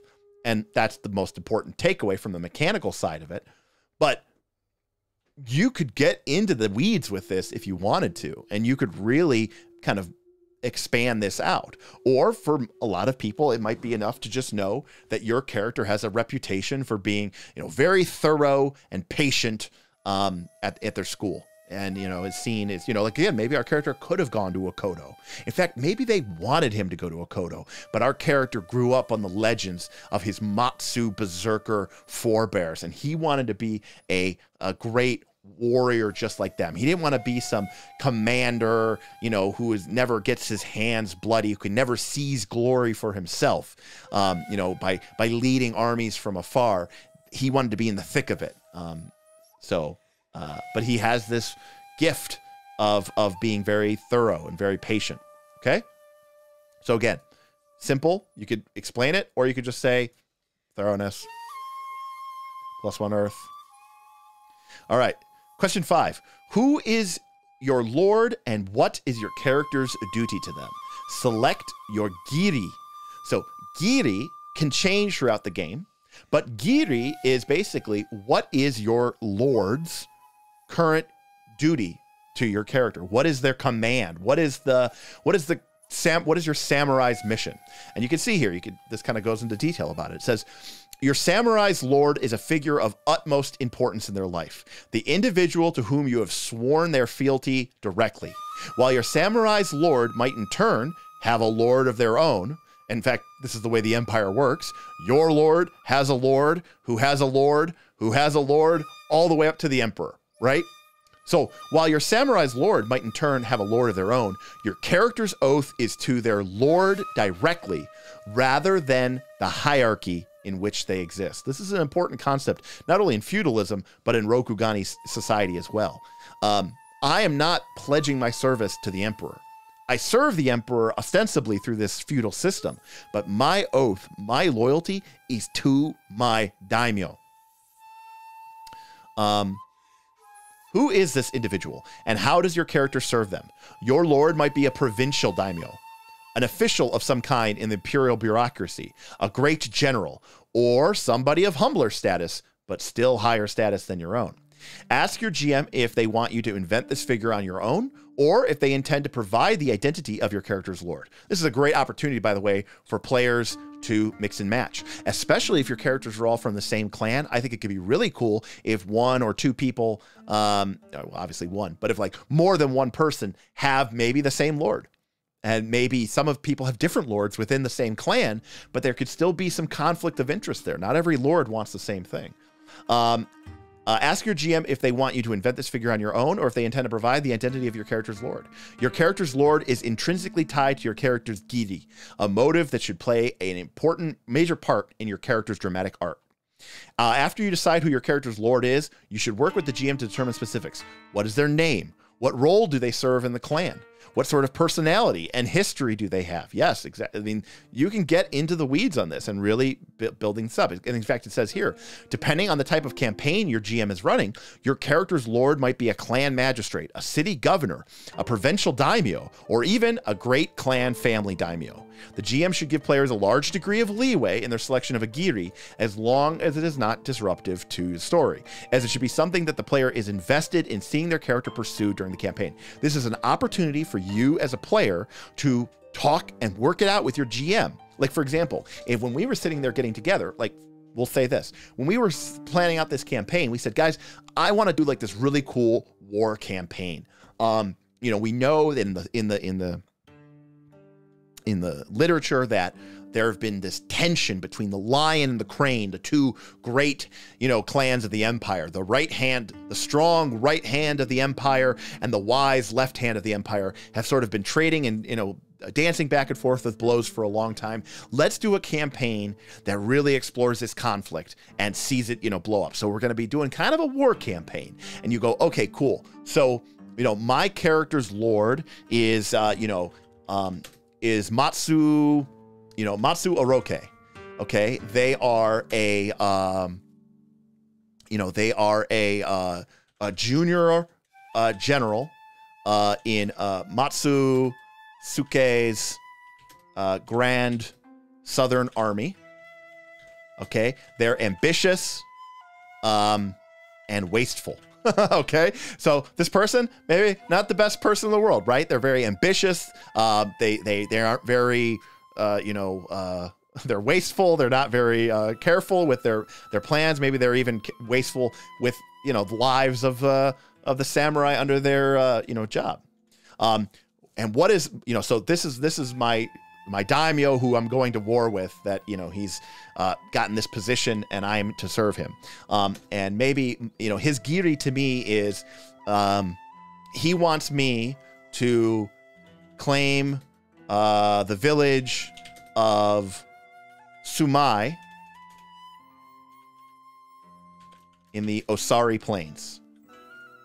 And that means take it from the Crane clan, right? So that is what he, my lord, has charged me with. And remember, as a as a samurai, duty and loyalty are are one of the most important parts of Bushido, and nothing is more important to my character than my giri.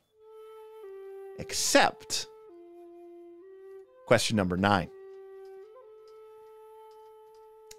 Uh, I'm sorry. Question number six. question number nine. I'm getting too ahead of myself. Uh, by the way, the book has more information about selecting giri. It talks about, you know, it, you know, in a sense, uh, you know, just like anything else in, uh, like when you're doing job objectives for your, for your work, uh, you know, a giri, in a sense, uh, you know, to make it I think personally, should be smart, right? It should be uh, specific. Uh, God, what's the M? Make. This tells you how how often I do this. Uh, attainable, reasonable, timely, measurable. Thank you. Right. So you know, uh, to claim the village of Sumai in the Osari Plains, okay, before winter or before fall, actually. That that's when uh, usually when uh, campaign stops in Rokugan. So here we go. Very specific. It's measurable. Is it attainable? Is it? Yes. Is it reasonable? Well, maybe. Is it timely? Yes. Okay, great. So now we have everything that we need to know for this Giri. So my lord Matsu Orokai has given me this command to to to claim the village of Sumai in the Osari Plains before the fall all right, which means take it from the Crane clan. Um, because Matsu Orokai is ambitious, and Matsu Orokai thinks that if he can claim, uh, you know, uh, the the village uh, and show his superiors, you know, they will reward him with more lands and more titles and more status and stuff like that. Now, Matsu Orokai doesn't care about the lives perhaps being spent to claim this village, and perhaps even now, uh, you know, is not making a good use of the resources that are being given to them. How does that, how does my character feel about that? In fact, this gets to question number six. What does your character long for? And how might this impede their duty? And this is so important to creating an L5R character. And by the way, like I said, Giri and Ninjo are the the yin and yang of around which a, a campaign runs. And when you're sitting down to make a campaign um, with your friends, choosing ninjos and giris that play off of one another is so cool and so important, right? Because, you know, if you have a character's giri which aligns or opposes with another character's giri or ninjo, it can create this really fun tension, right? L5R is not a game that is shy about intra-party conflict or intra-party tension. It can it can really lean into that. So, what does our character long for and how might they impede them? Boom, we got a ton of stuff here about your character's ninjo. This is this is your character's personal belief and what do they want, right? Um what, you know, what uh what is my care and, and and also choose something that's going to conflict, right, with my giri because that's what makes the game interesting. Yes, you are make you are setting it up to be hard for yourself. So what what does our samurai really want, right? Well, maybe Sumai is a, you know, there, I mean, a couple options come to mind, right? Maybe what they really want to do is, um, uh, you know, they want to fight uh, a duel against uh, Kakita. Uh, Kakita. I'm trying to come up with a name name here. Um, Kakita Hatsu, okay, who dishonored my father and killed him five years ago. Okay? That could be an option. It, it, it's also possible that maybe my character secretly loves uh, the, the, the, the crane samurai who guards the village of Sumai. Or maybe my character thinks that his general, his daimyo, is a wasteful, dishonorable man and thinks that he would be a better general than his own lord. You know, you, you want to create dramatic, you're like, but Derek, that's going to be dramatic and problematic. It's going to create a ton of problems and issues and nothing's going to be smooth and easy. Exactly. You want your characters to be life to be messy, right? So my daimyo is ordering me to go claim the village of Sumai in the Osari Plains before the fall, but that is not where Kakita Hatsu is. And now that we are at war, this is a perfect opportunity for my character to get into a fight and go challenge Kakita Hatsu and avenge his father's death, who, who he slain, who he killed, and did not give him, you know, um, honorable. But, you know, what is my character going to choose? Is my character, will my character disobey his order because he hears that Kakita Hatsu is, you know, marching north. You know, what about, you know, maybe this village isn't even that important militarily speaking. It's really just a vanity project for my, you know, wasteful lord. By the way, it's you know, it's a common trope to make the, you know, your daimyo um, you know, less than perfect. But I think part of the, the uh, appeal of this game is to make everybody less than perfect. If everybody is just a perfect Mary Sue samurai, um, I think the game loses, a, and that includes you. I think the game loses a little bit uh, of of stuff. So again, this is a huge part of the game. Uh, it gives you some really great, you know, it's like two pages here about choosing your character's ninjo.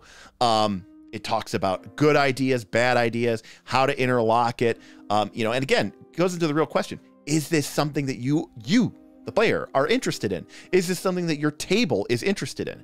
Um, you know, BH mentioned, you know, a character's a love interest. Okay, that's a great option. Do you want to explore a potential love romance triangle? No? Well, then don't pick that, right? Pick something that is going to interest you.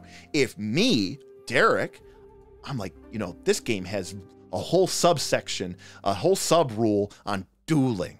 I think that's awesome. And like, what a cool way for this campaign to maybe my character gets killed fighting a duel against Kakita Hatsu. Maybe I, maybe I win. I don't know. I'd love to duel. And this would be a cool way for me to introduce this. I'm excited to go duel this guy. I don't even know who this guy is. I just made him. But already I'm like, you killed my father, prepare to die, right? I'm going full Inigo Montoya here. Um, so it's it's really great. Um, seven, another example of a really short quick question. You can answer it in one set, uh, one statement, or you could expand it further with your own interest and background. But at the end of the day, it's going to, you know, create um, one of these two uh, mechanical effects, which is seven. What is your character's relationship with your clan? Not every samurai lives and breathes their clan's creed. Sometimes individuals, you know, uh, diverge considerably for their clans. So you get a choice. If your character firmly believes in the precepts of their clan and the values it holds dear, gain plus five glory based on their reputation as an upstanding member of the community. If your character has a fundamental disagreement with their clan's beliefs, policies, or practices and has defied these in the past, gain one rank in a skill in which you have zero ranks.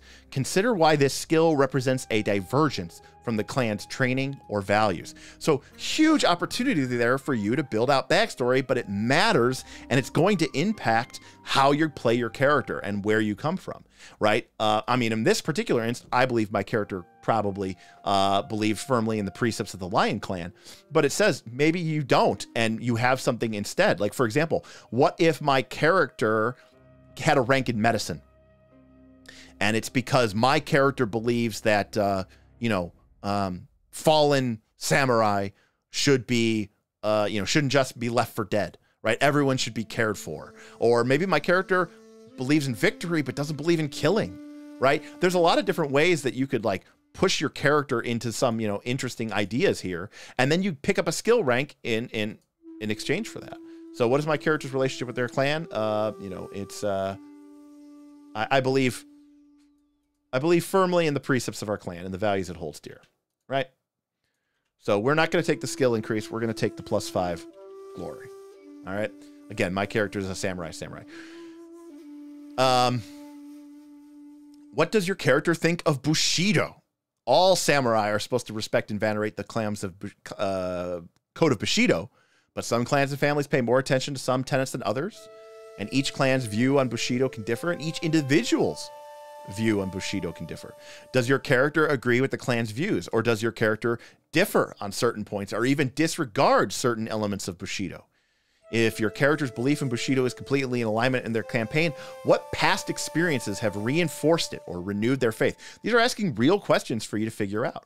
Um, if your character believing if your character belief in living by an orthodox interpretation of Bushido is very staunch, gain plus 10 honor. Uh, if your character diverges from beliefs uh, of how samurai should behave, gain one rank in one of the following skills to reflect past behavior that was unbefitting of samurai or deeply defied the norm. Right, and you get you get some low skills over here, including that medicine rank.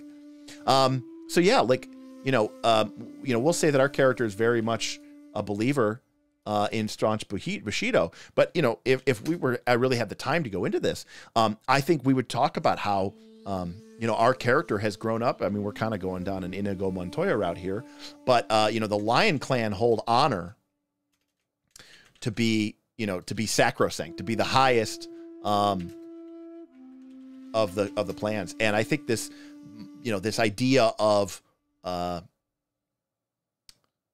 regaining his family's honor by by killing this Kakita, you know, has sort of consumed him.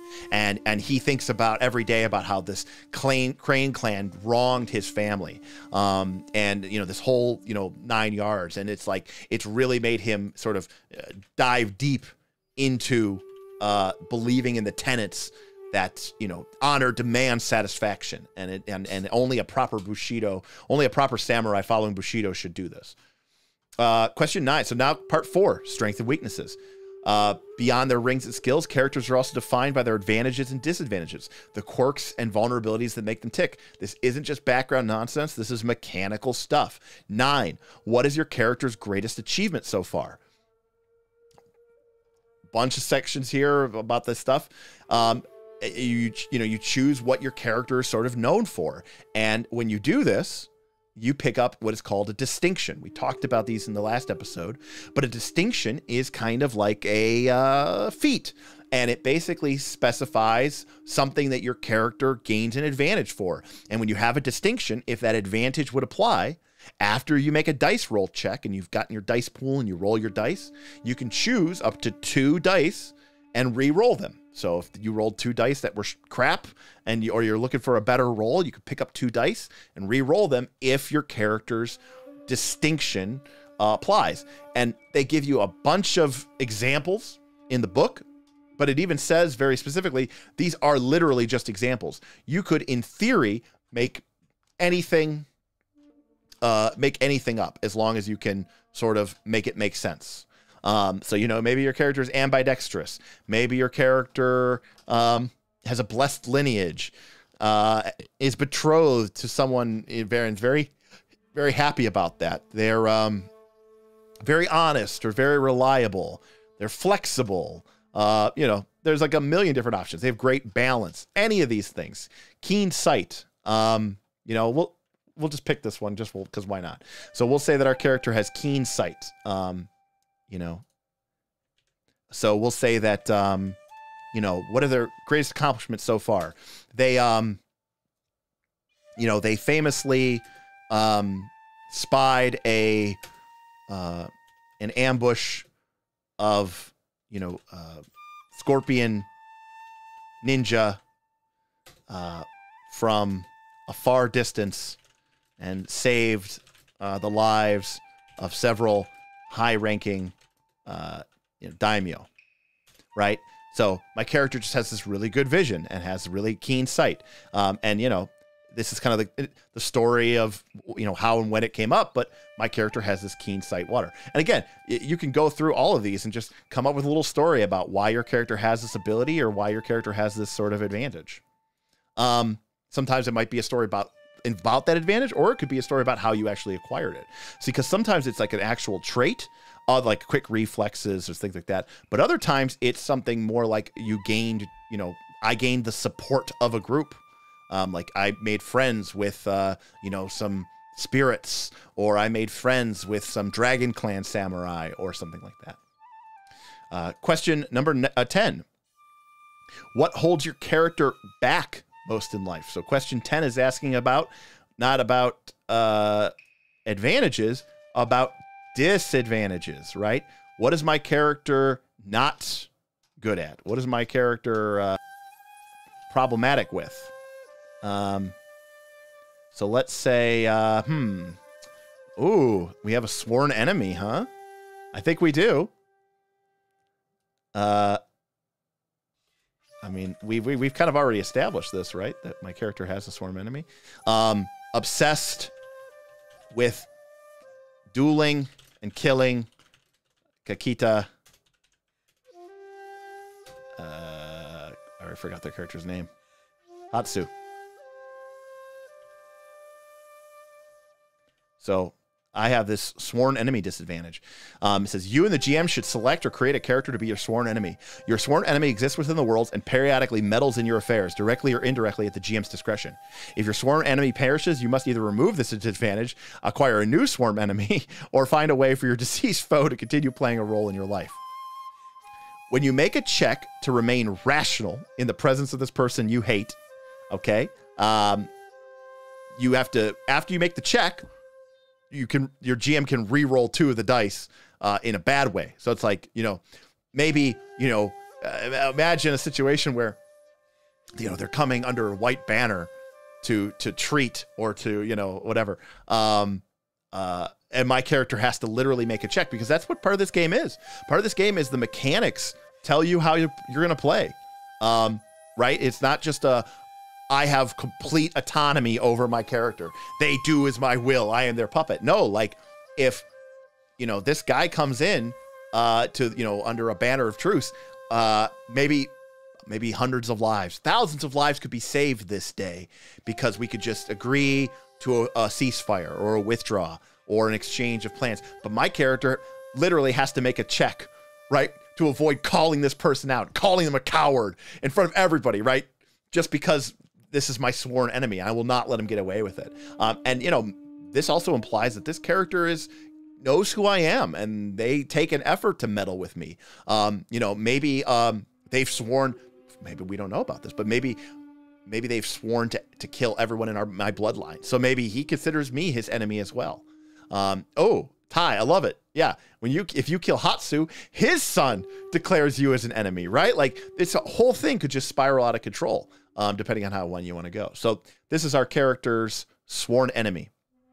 Okay, question number eleven: What activity makes your characters feel most at peace? Now we get to choose a passion. All right. Um, again, the game the, the game lists some examples of it, but I'm going to say um, making and drinking tea. Um, tea. Uh, what do I say that is? Uh, I'll say it's water. Um, you know, my character loves the order and the peace of of preparing the tea and sitting with his companions or his friends or his family and just, you know, having a moment to sort of contemplate and quietly sit down with tea. Um, it's what kind of gets him through the day. The way that, in you know, some people might turn to some shugo or some sake. My character uh, turns to tea. And what does this mean in the game? It means that if my character has an opportunity to relax and you know have some tea and go through the process and the ceremony, they can lower some of their character's stress, which in this game is called strife. Um, because it relaxes me. On the other hand, my character might have an adversity. This is something that opposite causes my character strife, causes my character what concern, fear, or foible troubles our character the most. Um, for this one, let's take a look here. What do we got here? Um, let's see. Uh, we could be afraid of water. We could be superstitious. We could be perfectionist, painfully honest. Um, I don't think our character's meek, materialistic. Oh, they could be a flirt. That's kind of fun. Uh, we already said that their characters. Now, remember, part of the thing, part of the fun thing, one of, one of the things that Aaron and I discovered when we played this game, you'll notice that a lot of these traits, uh, all these things have a, a, ring associated with them. And so the idea is that that that, that this uh, phobia is likely, or this anxiety is likely to come up in checks revolving around that. So, for example, water checks are usually about, well, you know, being tolerant and coming to understanding and being flexible and willing to compromise. Um, your character might be all of those things, but on that one particular point, they are intolerant, right? And um, one of the mistakes that we made when we first made Legend of the Five Rings character is we would say, oh, okay, well, my character has, uh, you know, a really low water ring. So they're kind of not very tolerant and they're not very charming and they're not very, you know, all those things. So I'm also going to give them the flaw of intolerant. It's a bad idea. The flaw should be, in my opinion, something that you're otherwise good at. And the reason for this is because when it's something that you're good at, those are the things that you're going to be making checks for a lot, which means that there's going to be an opportunity for this to come up a lot and earn you void points, which is kind of why it's like the mechanical reason, right? Those are like the game's hero points. So, for example, we know that our character has, uh, what do we have? We had plus one earth, plus one earth. So we're at three fire and three earth. Okay, so our character has a really high fire and a really high earth. So what if um, our character is uh, oh addicted? That's brutal. Um, Yes, Strat. It is doing the burning wheel thing of wanting to screw your characters over for meta resources. Not meta resources in the fate point sense, but more like hero points or an or, or inspiration. It's also just about making your character interesting, right? And um, you know, being uh you know uh you know, actually let's go with this. I like the idea of this, right? Our character, you know, they they are uh we said before that they were um we said before that they stood out because they're very thorough right their characters almost ocd right their character is very like he crosses all the t's he dots all the i's right he has a very high earth ring he's very logical he's very ordered he's very whatever but so he's got a really high earth rank but he's impatient okay so we're going to say that our character despite having a really high earth ring is actually really impatient. Um, he does not like to sit around. He likes to act, right? Um, so, uh, you know, what concern, fear, or foible troubles you most?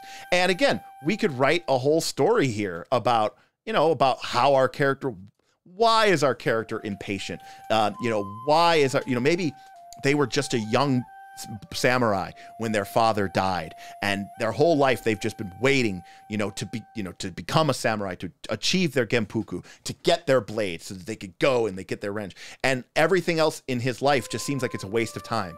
And he just hates everybody else wasting his time. It just drives him crazy. Um, and so his, this character is very impatient. Um, and so even though we have a really high earth ring when we go and try to make a check to sort of force us to wait um, it, it, can cause us problems. In fact, it'll give us stress. So, like, you know, like if, if our character's like, wish, you know, well, uh, it's time for us to attack. And it's like, well, we're still waiting for everybody to arrive before we get, and you're like, come on. And your character can gain strife from that and also gain a void point, which is the meta currency that you could use to be awesome. But it's a fun way to sort of play that back and forth from your character, which I think is really interesting. All right, question number 13. Who has your character learned the most from during their life? Page 93. Um, nearly every human owes some portion of their personality strength and weaknesses to the people around them, and usually a few people in particular stand out as mentors. Who is our character's mentor?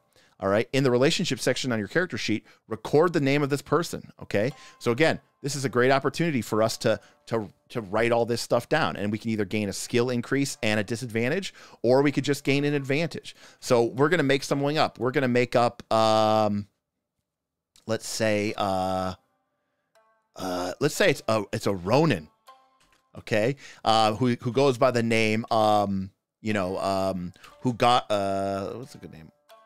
Hawari, okay? And Hawari is this, uh, she's this badass duelist, okay? And, you know, again, if we were making this character like for real, like we would describe how my character met Hawari and who Hawari is. But my character, now Lion especially, you know, Ronin are sort of outside the normal order of structure, and normally they wouldn't do this.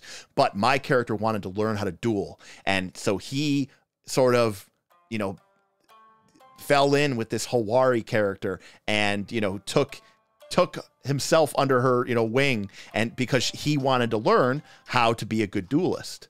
Okay. And so we gain, in this cases, uh, an advantage. So we'll say that, uh, you know, he gained, and I'm just picking these up because we're just going through this quickly, but let's say that he gained the quick reflexes. Um, uh, because Hawari, you know, maybe Hawari actually was a disgraced crane and crane duelists are some of the most legendary in the land. They practice iaijutsu, right? The act of striking and drawing at the same time in one perfect killing stroke. And Hawari was always, you know, harping about how it is not the stronger blade, but the quicker blade that can that wins in a duel. And that if I wish if I wanted to beat Kakita Hawari, who is a, or not Kokita Hawari, sorry, uh, Kakita Hatsu, who is a legendary crane duelist. Okay, I couldn't just be this brutish lion hacking my way through the duel. I had to learn to be speed. I had to learn to be as fast. And there could be a whole huge thing here with Hawari and where what her background is. And then, you know, you throw the whole thing into it. Maybe Hawari is actually related to Kakita Hatsu. Uh, who knows, right? It's perfect samurai drama. You just you go with the flow and you see what the dice come up. And by the way, this is where those opportunity symbols could come up right? So, like for example, like in the middle of a campaign, you might roll some dice and it's a check against Hawari, and you roll three opportunity, and you're like, wait a second, I'm going to spend those three opportunity. What if Hawari, okay, was Hatsu, you know, Hawari is the ex-wife of Hatsu. Yeah, who knows, right? Like maybe it could be it could be a million different things. Um, and, and and as a player and as the GM, the dice rolls and the opportunity symbols allow you to add that sort of of narrative inclusion to the game. Obviously, the game master can also take the game in certain directions, but I'm a big fan of letting the dice decide as well. Um, what do people first notice? Uh, what do people notice first upon encountering your character? Uh, page 93. So this is something special and unique. Um, personality behavior. Um, in a given region, um, you know, uh, samurai are expected to behave, dress, and comport themselves in certain ways. Uh, within their homeland, however, and any aspect of a character that veers from the norm, from slightly odd, from slight oddities of appearance to trivial mannerisms, tend to attract attention. A character might stand out for their unusual looks, strange dress, or ancestry that can be traced to far-flung parts of the Emerald Empire. A minor behavior like chewing one's lip when nervous or clasping one hands to hide trembling fingers could be the thing that other characters remember about a character. Perhaps the character always says the same thing when meeting a stranger.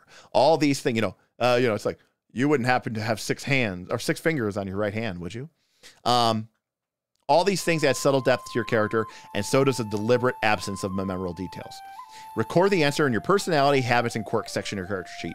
Additionally, choose one distinctive aesthetic accoutrement that your character carries or wears most of the time, e.g., a scarf, a hair ornament, an engraved scabbard, an eye patch. This personal bit of flair might act as their striking features or stand in contrast to them. I mean, again, it's getting late here, so we're not going to go super into this, but you know, this is a great opportunity to sort of, you know, describe what is what is the what is the key takeaway from your character, right? Um, uh, uh, you know, a a striking uh, young Matsu warrior with uh, piercing eye, piercing gray eyes, um, which are always shifting from left to right.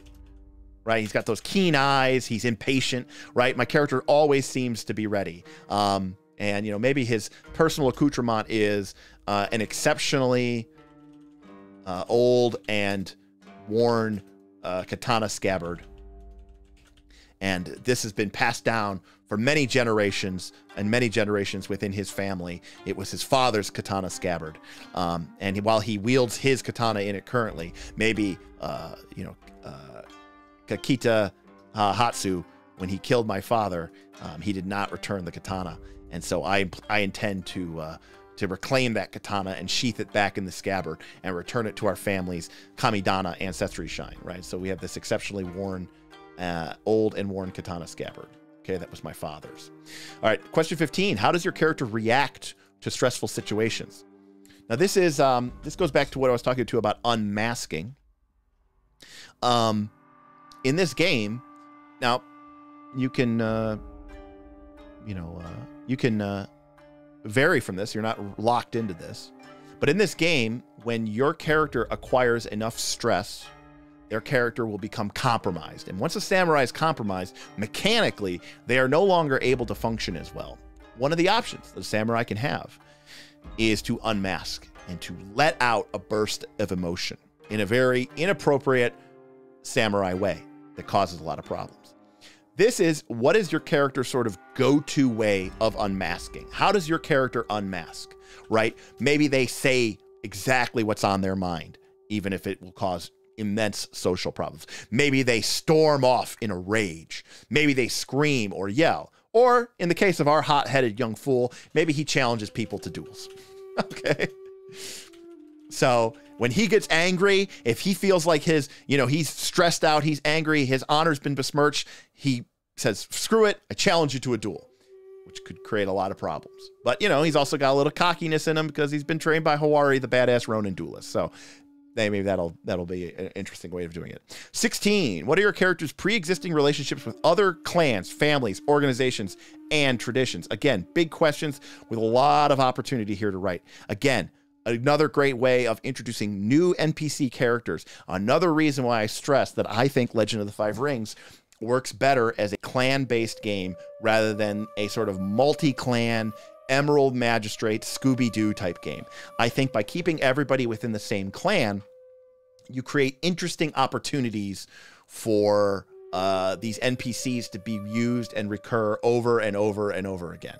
So, um, I mean, there's so much here that we could go into. So I'm just going to kind of probably skip this question. But additionally, when you do this, um, you get to you get basically you start the game with kind of like a quasi magical item.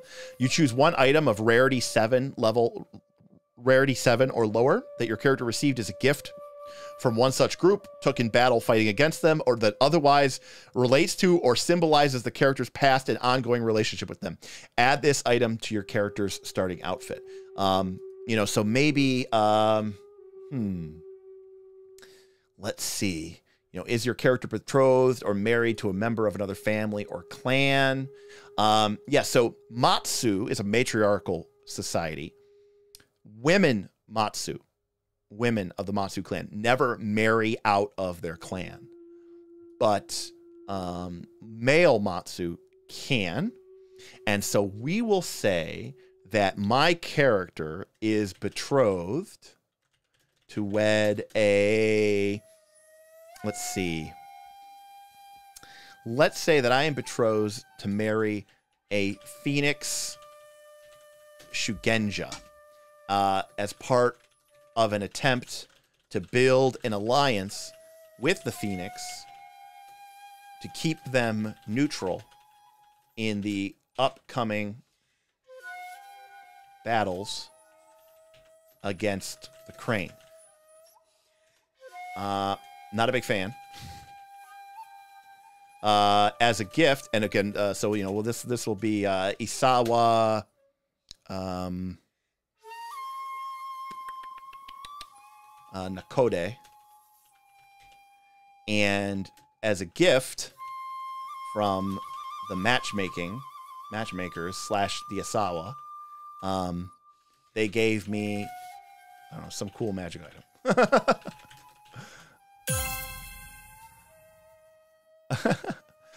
I like the saying, I fought on the wall with the crabs and got a finger of jade. Yes, a finger of jade.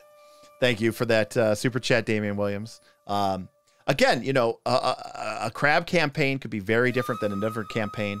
Um, so, uh, you know, uh, Damien is using his uh, knowledge of Legend of the Five Rings to make a funny joke, but uh, uh, sometimes that's all you get when you fight on the wall with crabs.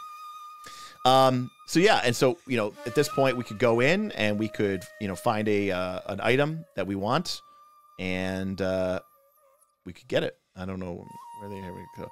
Uh, rarity seven. Let's see. Rarity seven. Rarity seven. Rarity seven. Um. Ooh. Could be uh, something cool. And this is where you know. Let's see what we got here. Oh, it could be sanctified robes. Ooh, that's kind of cool. Um, we will say that they gave me, um, as a gift, you know, some sort of really cool, uh, you know, ceremonial, ceremonial katana that is blessed with a fire kami's spirit. All right, we can go into that later, but uh, yeah, that sounds pretty cool. How would your character's parents describe them? Well, my Father is dead. Um. So, uh, additionally, gain one rank of one skill in which your character has zero ranks and determine whether your parents approve of this extracurricular interest or receive it as a regrettable deviation and why. Um, well, I would say, I think um, my uh, father wanted me to not follow him into the life of battle and death that he had.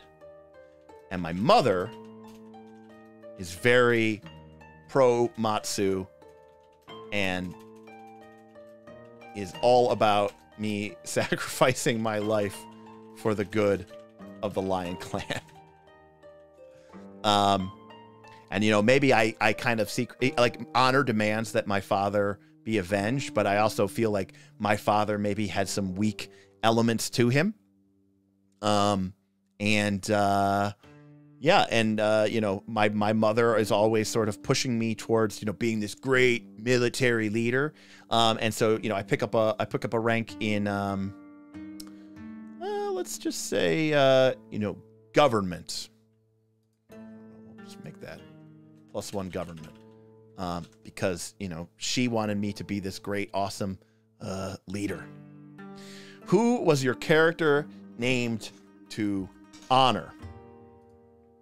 Um, when receiving or choosing a name at the coming of ceremony, many samurai adopt a name that honors a recently or particularly noteworthy ancestor. In the Emerald Empire, using a portion of the ancestral name combined with other syllables to change the meaning is very common practice. So, who was I uh, uh, chosen to honor? Um, I was named after Matsu. Um, uh, let's say Kagi. I don't think I have. Um, and Matsu Akage was a great Matsu warrior, strategist, um, who fought many duels and won many battles. Um, and we get to roll on the Samurai Heritage table. This is kind of a cool, random, unique effect uh, that you kind of roll randomly to determine uh, how your character uh, results uh, from their stuff. So let's, uh, let's get a D10. Okay, here we go. We got a D10. All right. We got a three. Oh, okay. Maybe this changes things. Okay. Wondrous work. One of your ancestors crafted a piece of great booty that won renown for your families, and other expect others expect you to live up to that legacy. Okay, so now we're maybe we get back to where my father came from. So sometimes you got to go back, right? So maybe uh, Matsu Akage was a great uh, swordsmith. And my father wanted me to follow in that, you know, in that process as well. And then we increase our glory by five. Sweet. And then oh, plus five glory. And then we roll another d10 here to determine an art, artisan skill. Oh, I rolled anyways. Uh, okay, well, cool. All right, I gained nine. So plus plus plus one smithing. That's funny that. Oh, we got that anyways. Okay, so our character, uh, you know, oh, I'm supposed to write that there. But yeah, so our character was named after this great, incredible swordsmith, and our father was a swordsmith. Man, I, I didn't even mean for this to happen, but this really is like an Inigo Montoya, right? His father, his father was a swordsmith, and then he got killed, and then his son took him up and challenged his murderer. Okay, I didn't mean for this to happen, but it's a great example of how you could just take something from our modern day thing and just turn it into a samurai uh, uh, thing and have a really cool, interesting story. So there you go. Samurai Heritage, uh, Inigo Montoya. See Inigo Montoya. Okay. And my father wanted me to be, you know, this follow in his footsteps and be a great swordsmith. But my mother wanted me to be a Matsu warrior and die on the battlefield like everybody else.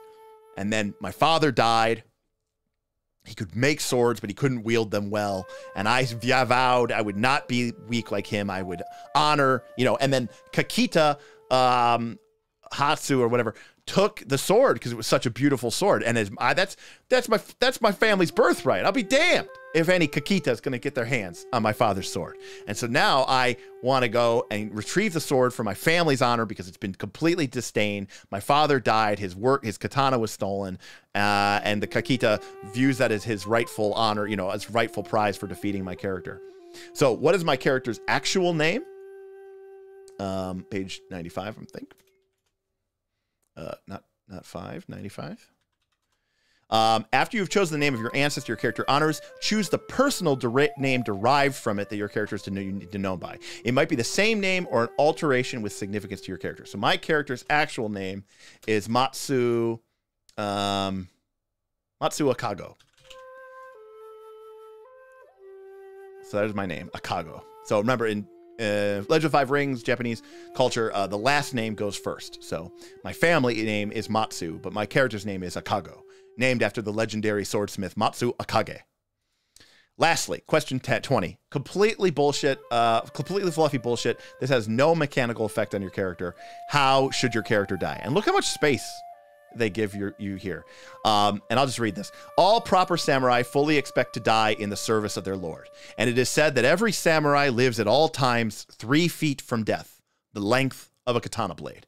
However, some deaths have more meaning than others, and there are plenty of samurai whose outward facade of courage hides a deep seated fear of mortality. How would you like your character to end? Will they fulfill their destiny and join their ancestors in Yomi, the realm of sacred ancestors?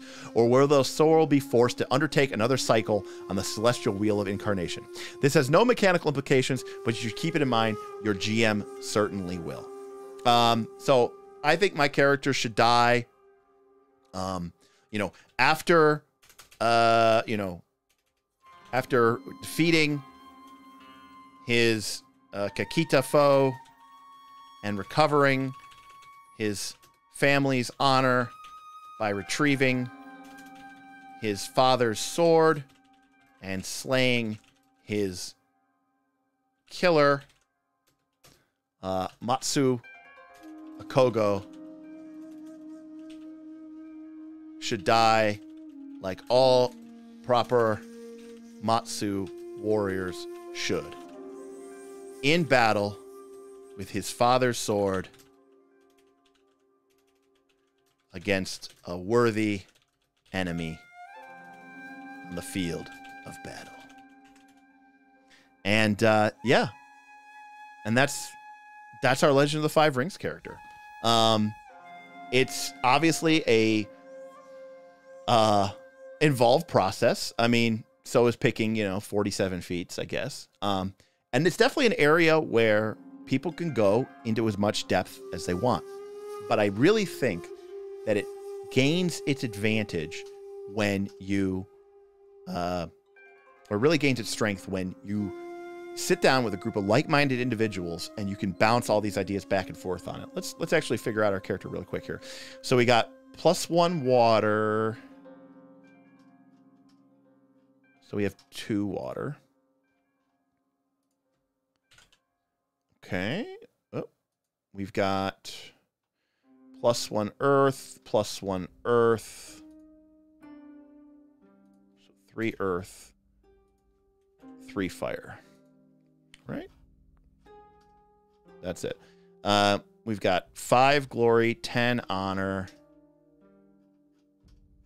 and another five glory. So plus 10 glory, plus 10 honor. Is that right? Damn. We sweet. All right, so our character's uh, starting glory was 44. So our character actually starts with a 54. And our character's starting honor was 55, and their starting honor is 65. So our character is almost in the in the great honored status um, because you know again they're they're they're kind of being a samurai samurai right? They're doing everything that's expected of them uh, with their family their clan their school. Um, let's see we've got uh, two ranks in command. And we've got one rank in martial arts melee and one rank in martial arts unarmed. and one in tactics, and one, two in fitness, and one in labor.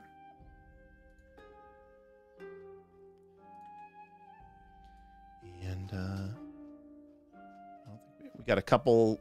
We, we, we, would also write down here on our sheet a couple of our distinctions, like our quick reflexes. And uh, what was our other one? Keen sight.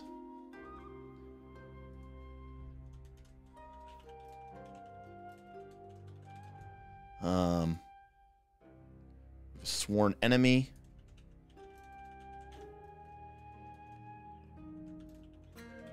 Passions tea ceremony. What is it? Impatient? Did we say our character was? Impatience.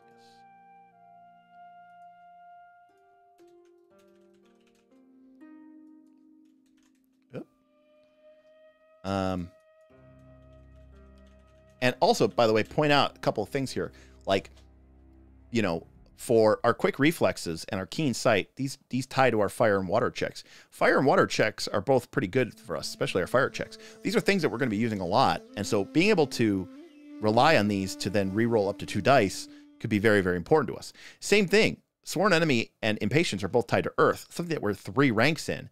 So we're probably going to be using earth a lot. And this is actually a good thing because number one, it makes our character very interesting, but also it means that there's a great opportunity for us to earn void points. Again, um, anytime our anxiety or our adversity comes up, yeah, it's going to suck. It's going to, you know, potentially hurt our character, but it's also going to get us void points. It's a great way for us to sort of not only make our character interesting, but it's also a great way for us to gain the sort of, uh, you know, um, abilities and, uh, uh, sorry, void points so that we can do really cool things when we need to. Um, one last thing I want to talk about here, real quick, um, is experience. So the way that Legend of the Five Rings works, as written, um, you just gain experience points every session. Um, you gain a couple bonus experience points if you achieve major goals, but it doesn't really actually matter what you do. It's usually one XP per hour played. So if you play a four hour session of Legend of the Five Rings, you're going to gain four XP. It doesn't matter if you fought a massive battle against a thousand samurai or if you sat around talking about the best kind of tea. You know, was it crab tea or was it uh, dragon tea? Who made better tea, the Dragon Clan or the Crab Clan? It doesn't matter. And I always say that what whatever rewards, you know, whatever the, however the game rewards you should tell you a lot about this game. As written, this game is telling you something really important. Now, by the way, for a certain type of campaign, I might house rule that. But as written, this game is telling you that this game is there for you and your friends to sort of chew on the scenery. That you shouldn't feel focused. That you're there to experience this samurai world, and you shouldn't be so obsessed with, you know, achieving victories or achieving goals or quests just to get experience points.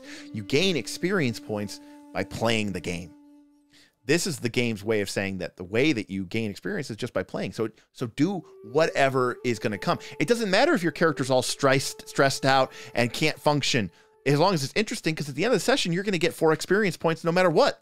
Whether you do anything or don't do anything. Yeah, you might occasionally gain a bonus experience point here and there.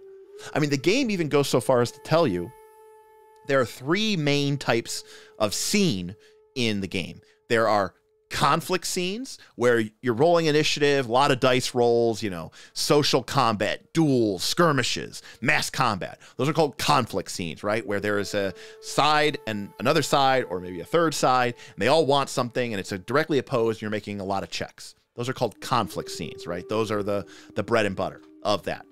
The second type of scene is called a narrative scene. A narrative scene, and you can even see here, this is called the narrative mode and then this side of your sheet's called the conflict mode, okay? In the narrative mode, right, we're just making checks, we're doing things, we're exploring the space, we're talking, we're probably doing a fair amount of conversation or world building, um, and checks are going to definitely be made. The third type of scene, though, is called the downtime scene. And a downtime scene can be anywhere from several days to even several months to even several years. And the game even says that, you know, if, uh, you know, the group, uh, you know, let's say it's a war campaign and in Rokugan, people do not battle in the winter. Uh, you can't fight heavy snows, shitty weather. You can't, it's just no good. And so the you know, the fall season comes to an end, and the GM says, you know, we're going to skip over winter. Uh, winter is usually a time for politics and uh, court intrigue, and that's not a part of what we want to do for our campaign. Maybe you do, and you want to play that. But the GM says, guys, uh, we're going to skip forward to spring of the next year. So like four months have happened, and by the way, this is a rule. This is in the game. Uh, quickly go around uh, and describe basically what your character did over the winter, and everybody gain five XP uh, or 10 XP to just rep and then spend it on stuff to represent basically what your character was doing over the course of the winner Because picking up uh, like a new technique or a new kata, like a new uh, a shuji or a new invocation, which is a spell, is only three experience points. And gaining a new rank and a new skill is like two experience points. Gaining a second rank is like four experience points. So you might gain three to five to six experience points every time you play this game.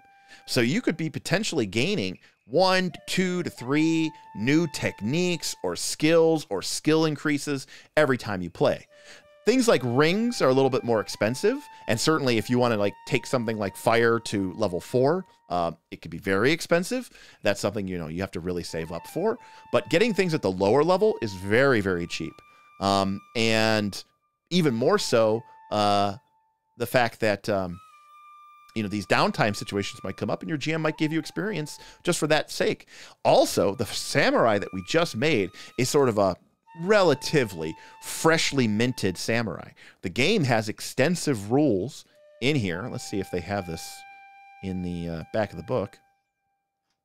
The game has extensive rules about how it's totally fine to start with more experience points 97 or 299 let's take a look at 299 um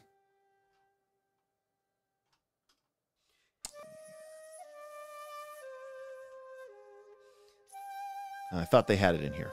Um, but there, there's a, a, a, somewhere in here where they talk about how like maybe your campaign starts at 20 XP because these are seasoned samurai. You know, people who have been, you know, they're they're in their you know early 20s they're not just like teenage freshly minted samurai maybe people start with 30 or 40 experience points. And maybe your characters are starting off and they are great samurai. Maybe they they're even lesser daimyo themselves. And they've already you know had several uh interesting uh, uh advantages to their you know or uh several interesting things that have happened to them. And they've already gained a fair amount of renown. The game is totally fine with you playing essentially quote unquote a higher level character if that's the kind of samurai drama that you want to do. If you want to play a game about you know freshly minted samurai trying to make their mark in the world great boom do it but if you want to play a political intrigue game Combat where you are Medic all Bush tip hey $25. Great stream. Love seeing the L5R content. Thank you, Combat Medic Bush. Appreciate the tip. Um, glad you enjoyed it. I know this was probably kind of boring if you don't really like Legend of the Five Rings, but um, it just shows to me when one of the things that important takeaway from this game is look how the narrative and the mechanical elements yin and yang to each other, right? You're not just making all this fluffy bullshit time up just to make it up and to write it down to your character sheet and no one will care. You're writing it down and you're including it, which is great, but it also has this mechanical benefit and it feeds back into the system of honor and glory and status and your rings and your distinctions. By the way, we talked about these distinctions. Remember, some of these things can just happen during the game. You know, we didn't really get into it, but like some of the disadvantages that your character can acquire during the course of the game are, you know, things like um, getting uh, hurt, right? Um, and so, like for example, you might end up with, uh, uh, you know, a lost arm or lost hand. Well, why would I ever choose that? You wouldn't. But if the GM rules that you fought in a duel and your character lost their left hand or right hand, Jaime Lannister style, then guess what? you just you just got yourself a new a new disadvantage. All right. and you're going to go to your character sheet and you're going to be like, okay, I've got myself a new adversity. Uh, lost, lost armor, hand, lost hand. Uh, and, you know, it, it basically says you have only one usable hand or arm. You cannot wield anything in a two handed grip or hold anything in your missing hand. If you are missing only the hand, you can strap items to the hand for use. Whenever you make a check for which having two hands is very valuable, uh, you have to re-roll two of your successful dice and take the lower, take the worse, right? And why? How did I gain that? Well, maybe you gain that because someone critically hit you and they cut off your fucking hand. Like, I'm sorry, that's it. There's no regenerate spell. There's no healing. There's no hit points. If you get if you get critically hit with a katana, you're probably losing something, right? Um, same thing with the distinctions as well.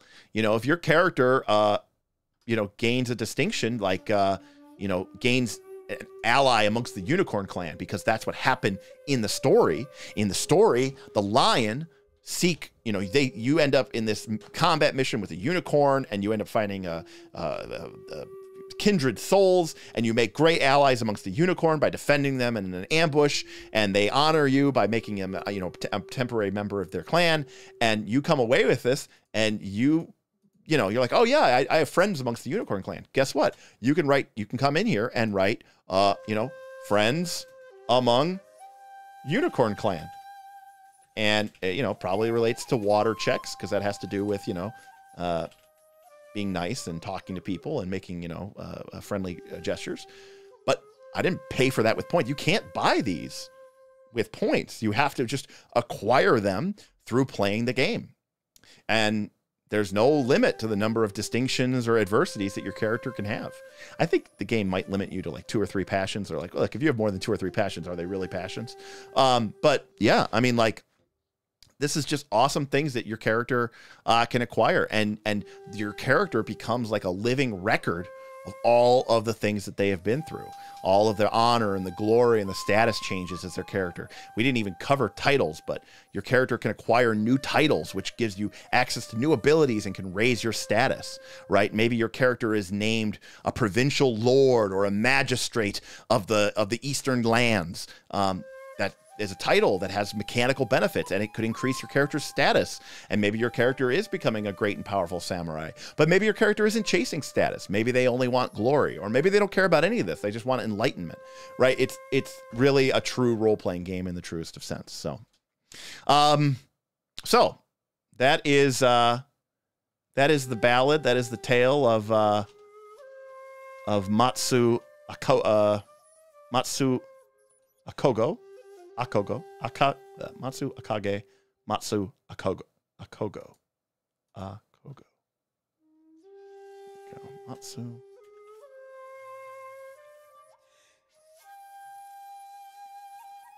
Matsu Akago. Matsu Akago. There we go. I was having a hard time saying it. Matsu Akago. Um, player name, of course, is yours truly. Um, and uh, you know, uh, who knows? Will will we ever see the the the the Adventures of Matsuo Akago? Well, probably not. But that is a Legend of Five Rings character, and um, you know that's kind of the general process of going through it.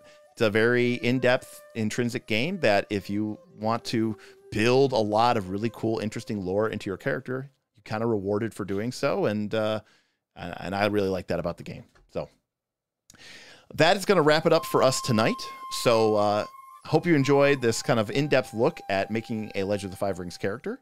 Um, if you have any thoughts or comments or questions, leave a comment below, or better yet, join our Patreon, patreon.com slash knights of last call, and you can ask me the question right there. We have a Legend of the Five Rings channel set up, um, along with channels for Pathfinder 2, Dungeons and Dragons, Blades in the Dark, Call of Cthulhu, you name it. We love talking about other games there. We love buying and playing all these games. Uh, we'd love for you to come and tell us about your favorite game and why we should all buy it, and then watch in amazement as we all probably go out and buy it. Um, but uh, love hanging out with everybody. Love having you here, and uh, hope you all have a really, really excellent weekend. And uh, we'll see you next time on Knights of Last Call.